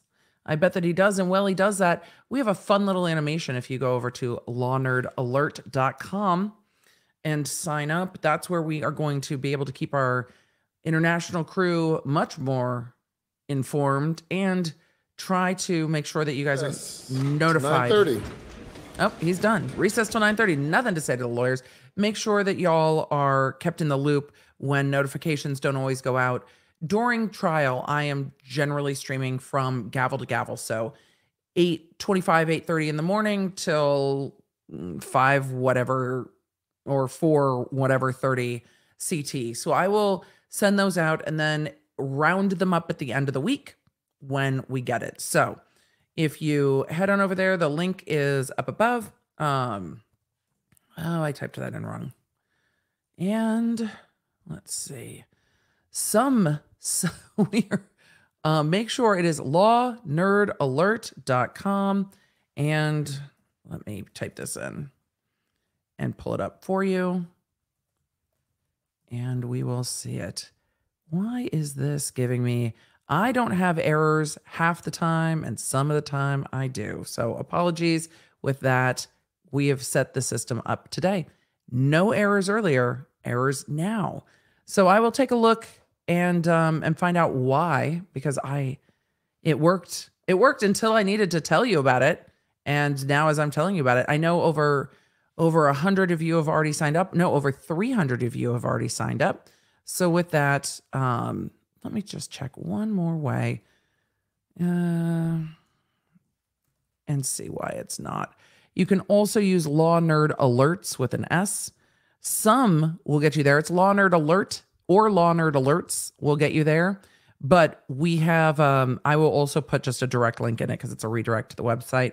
So for those of you that are there, but once you see once you see the cat and the gavel, you're there. Name, email, and we will keep you in. It might be traffic related, and that's very fair. It might be traffic related. So Runkle, y'all are telling me Runkle is not happy about what happened today. Um, let me go look. So we are we are the link Lynn, we are working on it, Leslie, but I put the direct link in the chat too. You can go to emilydbaker.com slash law nerd alert or law nerd alert or law nerds alert. And then I will send out the link in these spaces, the Patreon spaces and everything else so you can sign up. It might be traffic related. Look, we we try to break things when they're new. and that's what we do. So it should work for you, but it will give us a way to communicate and get you all signed up. So it might be traffic related and I'll go take a look. Um let's do a quick let's at least the cat is just I'm I'm overjoyed by that. So we're there. So we're there. Um Runkle is not at all happy. Hold on. Let me go let me go find find what Runkle had to say. If he put up a short on it, I will go find it and and go take a look. Um over at Runkle of the Bailey. I'm sure he wasn't. I wasn't either. I wasn't either. Murdaugh trial insanity defense lawyer. Okay, here we go. We're gonna pull this over. All right, let's give us let's give us a, a swoop and then um Miguelina, I'll give you a link to this so we can put a link to this in the chat. I love that Runkle popped on to to pop off, I think is what happened. But let's go take a look at this. And I love that y'all already went and checked it out. So let's go over to see what Runkle has to say on YouTube Shorts. Oh, by the way, Runkle is a um, attorney. He's also a, I believe, a firearm instructor. He is on um on here on YouTube at Runkle of the Bailey, and I want to make sure I have the sound on. All right, let's see. Let's see what Runkle. Let's see what Runkle has to say. I'm sure it's uh I'm sure it's delightful. Oh, I should swoop. You're right. All right, swoop a doop and then runkle it. Defensive firearms lawyer, and I have some comments about a moment that happens in the Murdaugh. If you're wondering what it takes, I'm a Canadian criminal defense and firearms lawyer, and I have some comments about a moment that happens in the Murdaugh trial. Yeah, I bet you do. Tempting, but um, Yep, good. I'm not the It only one horrified. Looks like he's got that pointed at the prosecution table. I'm going to give him the credit of assuming it was pointed over them. It's still not acceptable. It's not funny. People laughed at that. They shouldn't. Uh, guns are not a toy. Guns are not a joke. You always treat a gun as if it's loaded. You never pointed at something. Guns are not a prop. To shoot. This is unacceptable. If I was the judge in that courtroom, I would have asked the jury to leave, and I would have torn a strip off this lawyer, and he would not touch iron in my courtroom again. I'm a Canadian. Well, we Runkle has lawyer, and I have spoken. The defense will not touch happened. iron in his courtroom again. Runkle, look, Runkle, gun safety is clearly not a joke. Guns are not a joke. Guns are not the punchline of a joke. We're in the middle of a double homicide trial where two people were brutally murdered, and he seemed, from all of our rewatching, to be pointing it at the prosecution table, even if not directly at the prosecutors, at the prosecution table, saying tempting. I don't know if the prosecution will address it with the judge tomorrow, but I agree with Runkle. Um, it's just, it's just. We will link Runkle's rant. It's over on his channel. The casualness of this courtroom has pushed too far. I can I can understand when stylistic differences happen. I, I don't love when Creighton is crawling around on the floor of the courtroom and laying down on the floor of the courtroom. Stylistic difference. It's not inappropriate. It's not improper. It's a stylistic difference. But once you have something like that, I also think it's improper. I well, you saw my immediate reaction was holy shit. Um, and maybe they'll address it tomorrow, and maybe they won't. I don't know. I just, I just don't know. I just don't know. Lauren V over on Twitter said, Emily, it's official. This trial has broken my laptop. Sigh. As a five foot two human who didn't expect to be attacked today. I know every everyone under under about five four felt attacked today. We love you, law nerds. We love you, law nerds of all shapes and sizes. We love you. Um, it's just it might not be addressed. We'll see what happens in the morning. But I love, I love Runkle. I, I feel so much better that Runkle's like, I'm here with you. I feel you. Our rage is joint rage. Let's do a quick summary, if we even can. I don't even know. I stopped taking notes this afternoon because I was so tired of them going back and forth. The rest of the afternoon today was the defense reconstruction expert and cross examination of the defense reconstruction expert. In that cross examination, we saw the prosecutor ask about yeeting a phone from a moving vehicle and the factors that would need to be considered, and the fact that this witness did not have all of those factors to really make a scientific um, uh, determination about eating a phone. But the witness, I think, very calmly held his ground, saying, no, but there are some things that are certain facts, and that's regarding motion and velocity and things like that. So, talking about the fact that a phone could have tumbled or could have been thrown flat with the phone being yeeted out the window.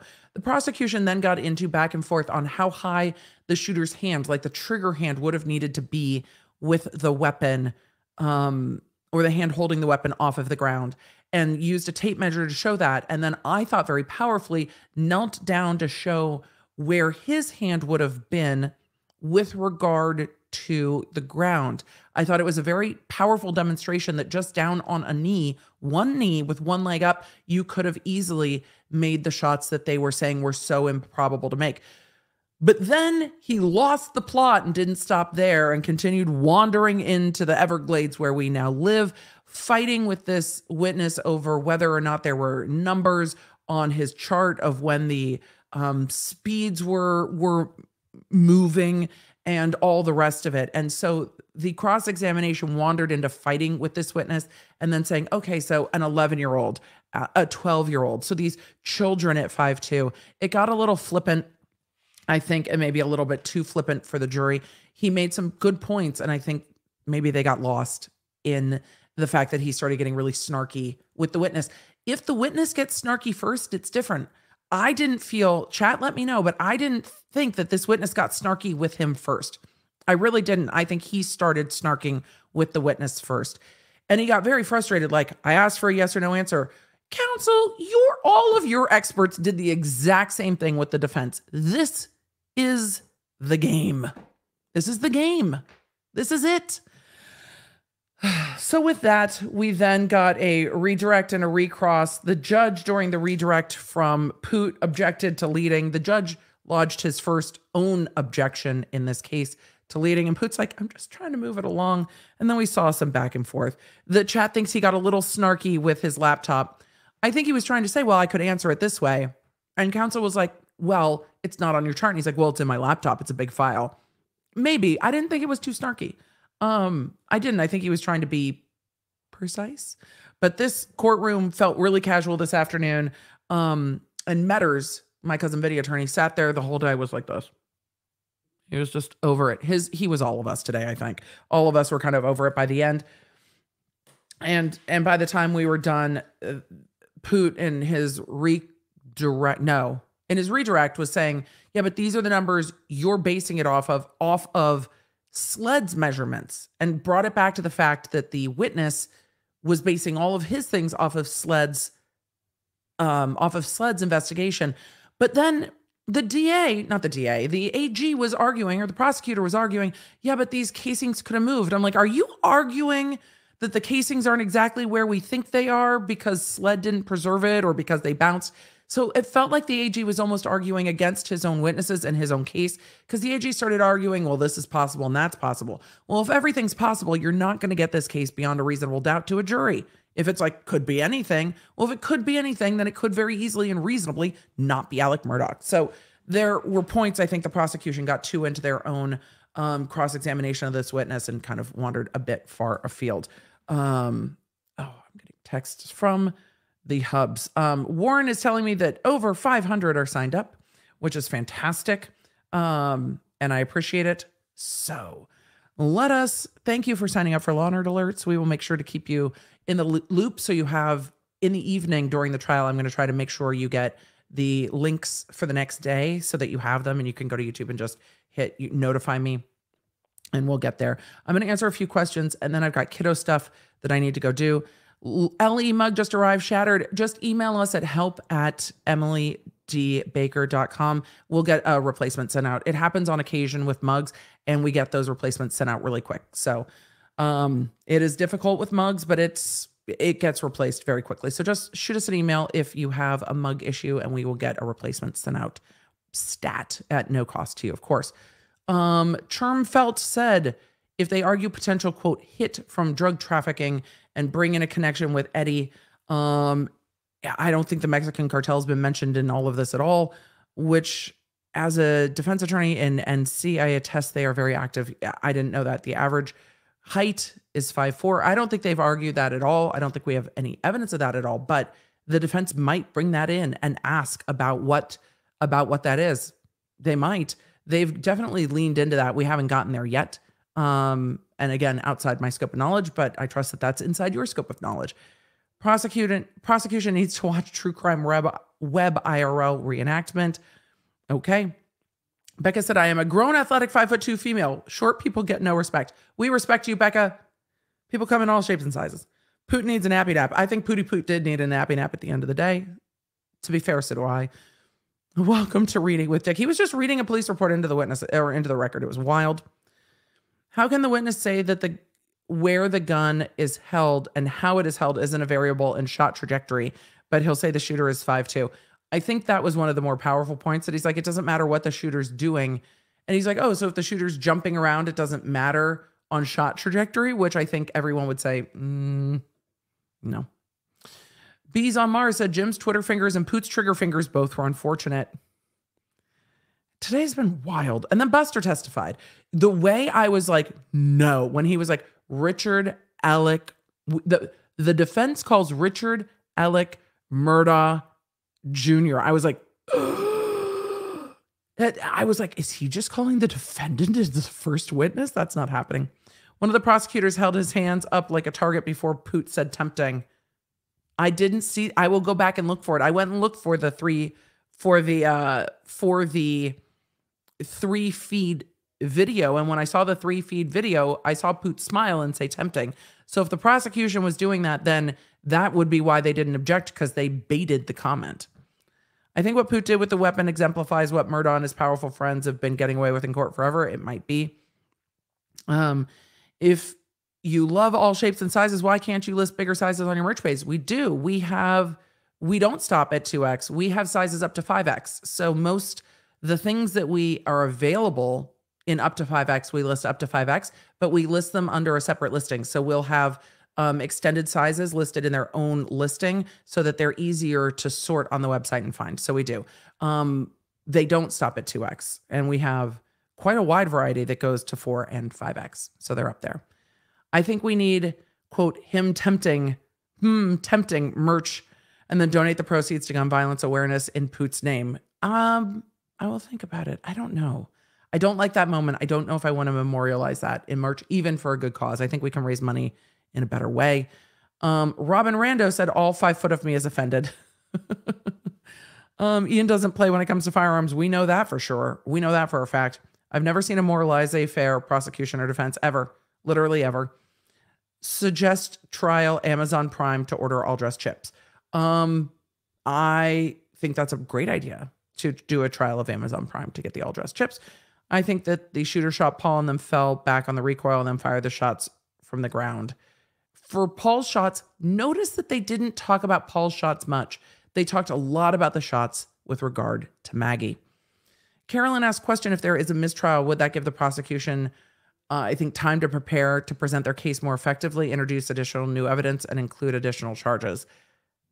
It, I mean, it would give them time for that, but they'd also be stuck with some of the stuff they've done in this trial because it's in transcripts. I don't think the prosecution's trying to bait a mistrial. That doesn't always go their way. Um, so I don't think they're trying to at all. I think they need to get through all of this. Janice said all of the testimony today seems hinky and suspect. I don't know that I'm buying what they're selling. What are your thoughts, Emily? It all of the testimony by the time we get to the defense case, if jurors have their minds made up, the testimony gives the jurors um, room to say no. This is why I don't agree with the prosecution, and and this is what this witness said, and this is what this witness said. So they are they are now giving the the words for the jurors that advocate for not guilt what they need or are trying to sway the jurors that don't have their minds made up yet which they're not supposed to but human nature is human nature i think that it's their job to confuse it i don't know i think there was some fair some fair testimony the sound testimony i don't know if it was that helpful but it might be to these jurors you never know but also common sense everyone in the chat was like I live near people that shoot, and this is an area where people shoot readily. And so the juror's life experience, if their life experience does not correlate with what this witness said, they're just going to disregard it. And so for a lot of you, you were like, yeah, but I can hear things in the woods near my house, or I can hear shots from, you know, the shooting range. I did that by accident.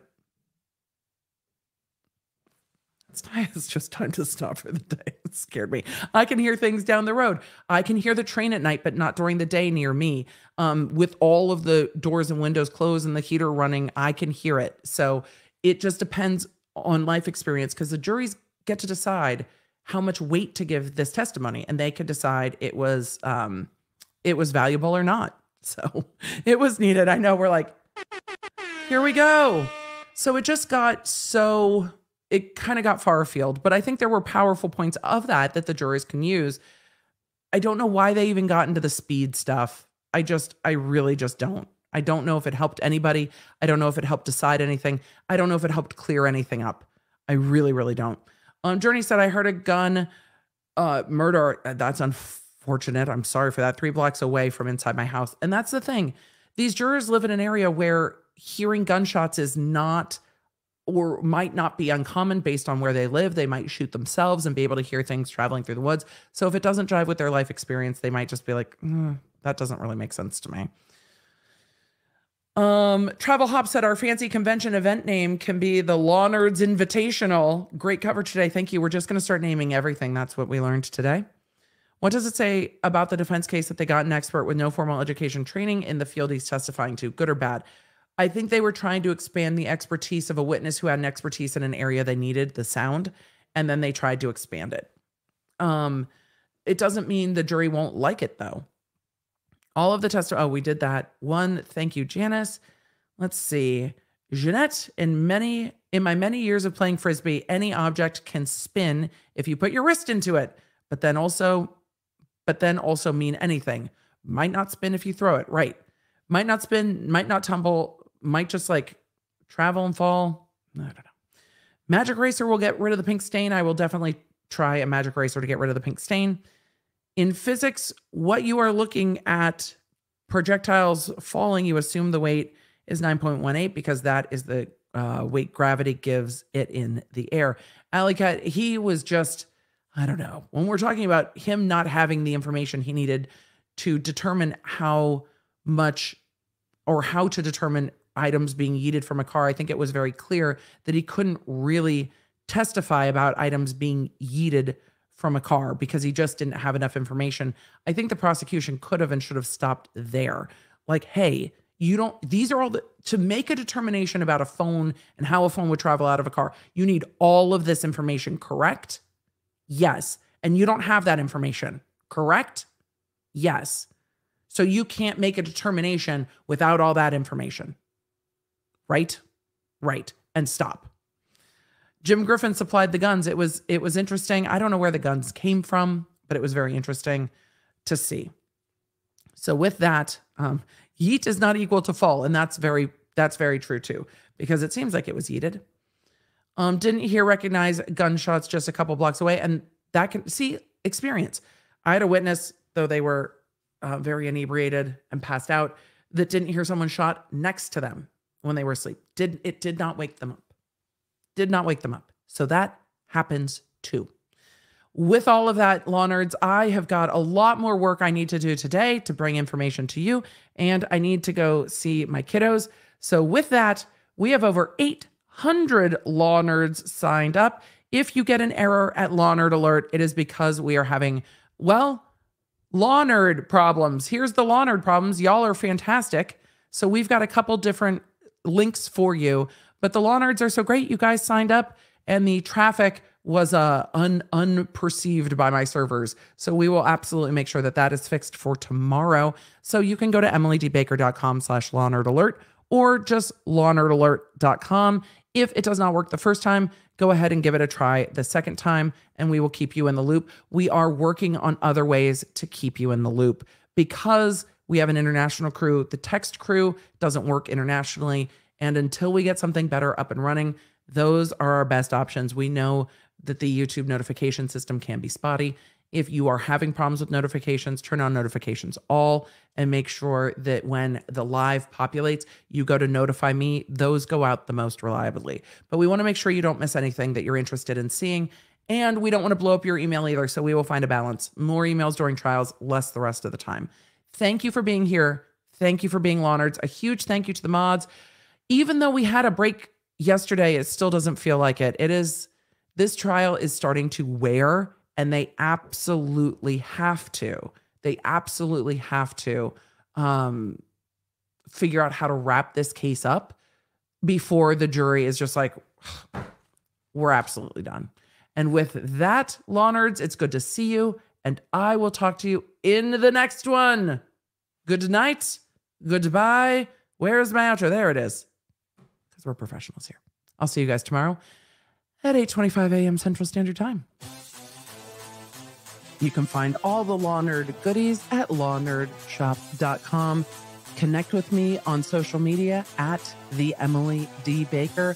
And don't forget to check out my podcasts, The Emily Show, and the new podcast, Quick Bits, summarizing everything I talk about on my Tuesday and Thursday live streams. You know, when you only have time for just the quick bits.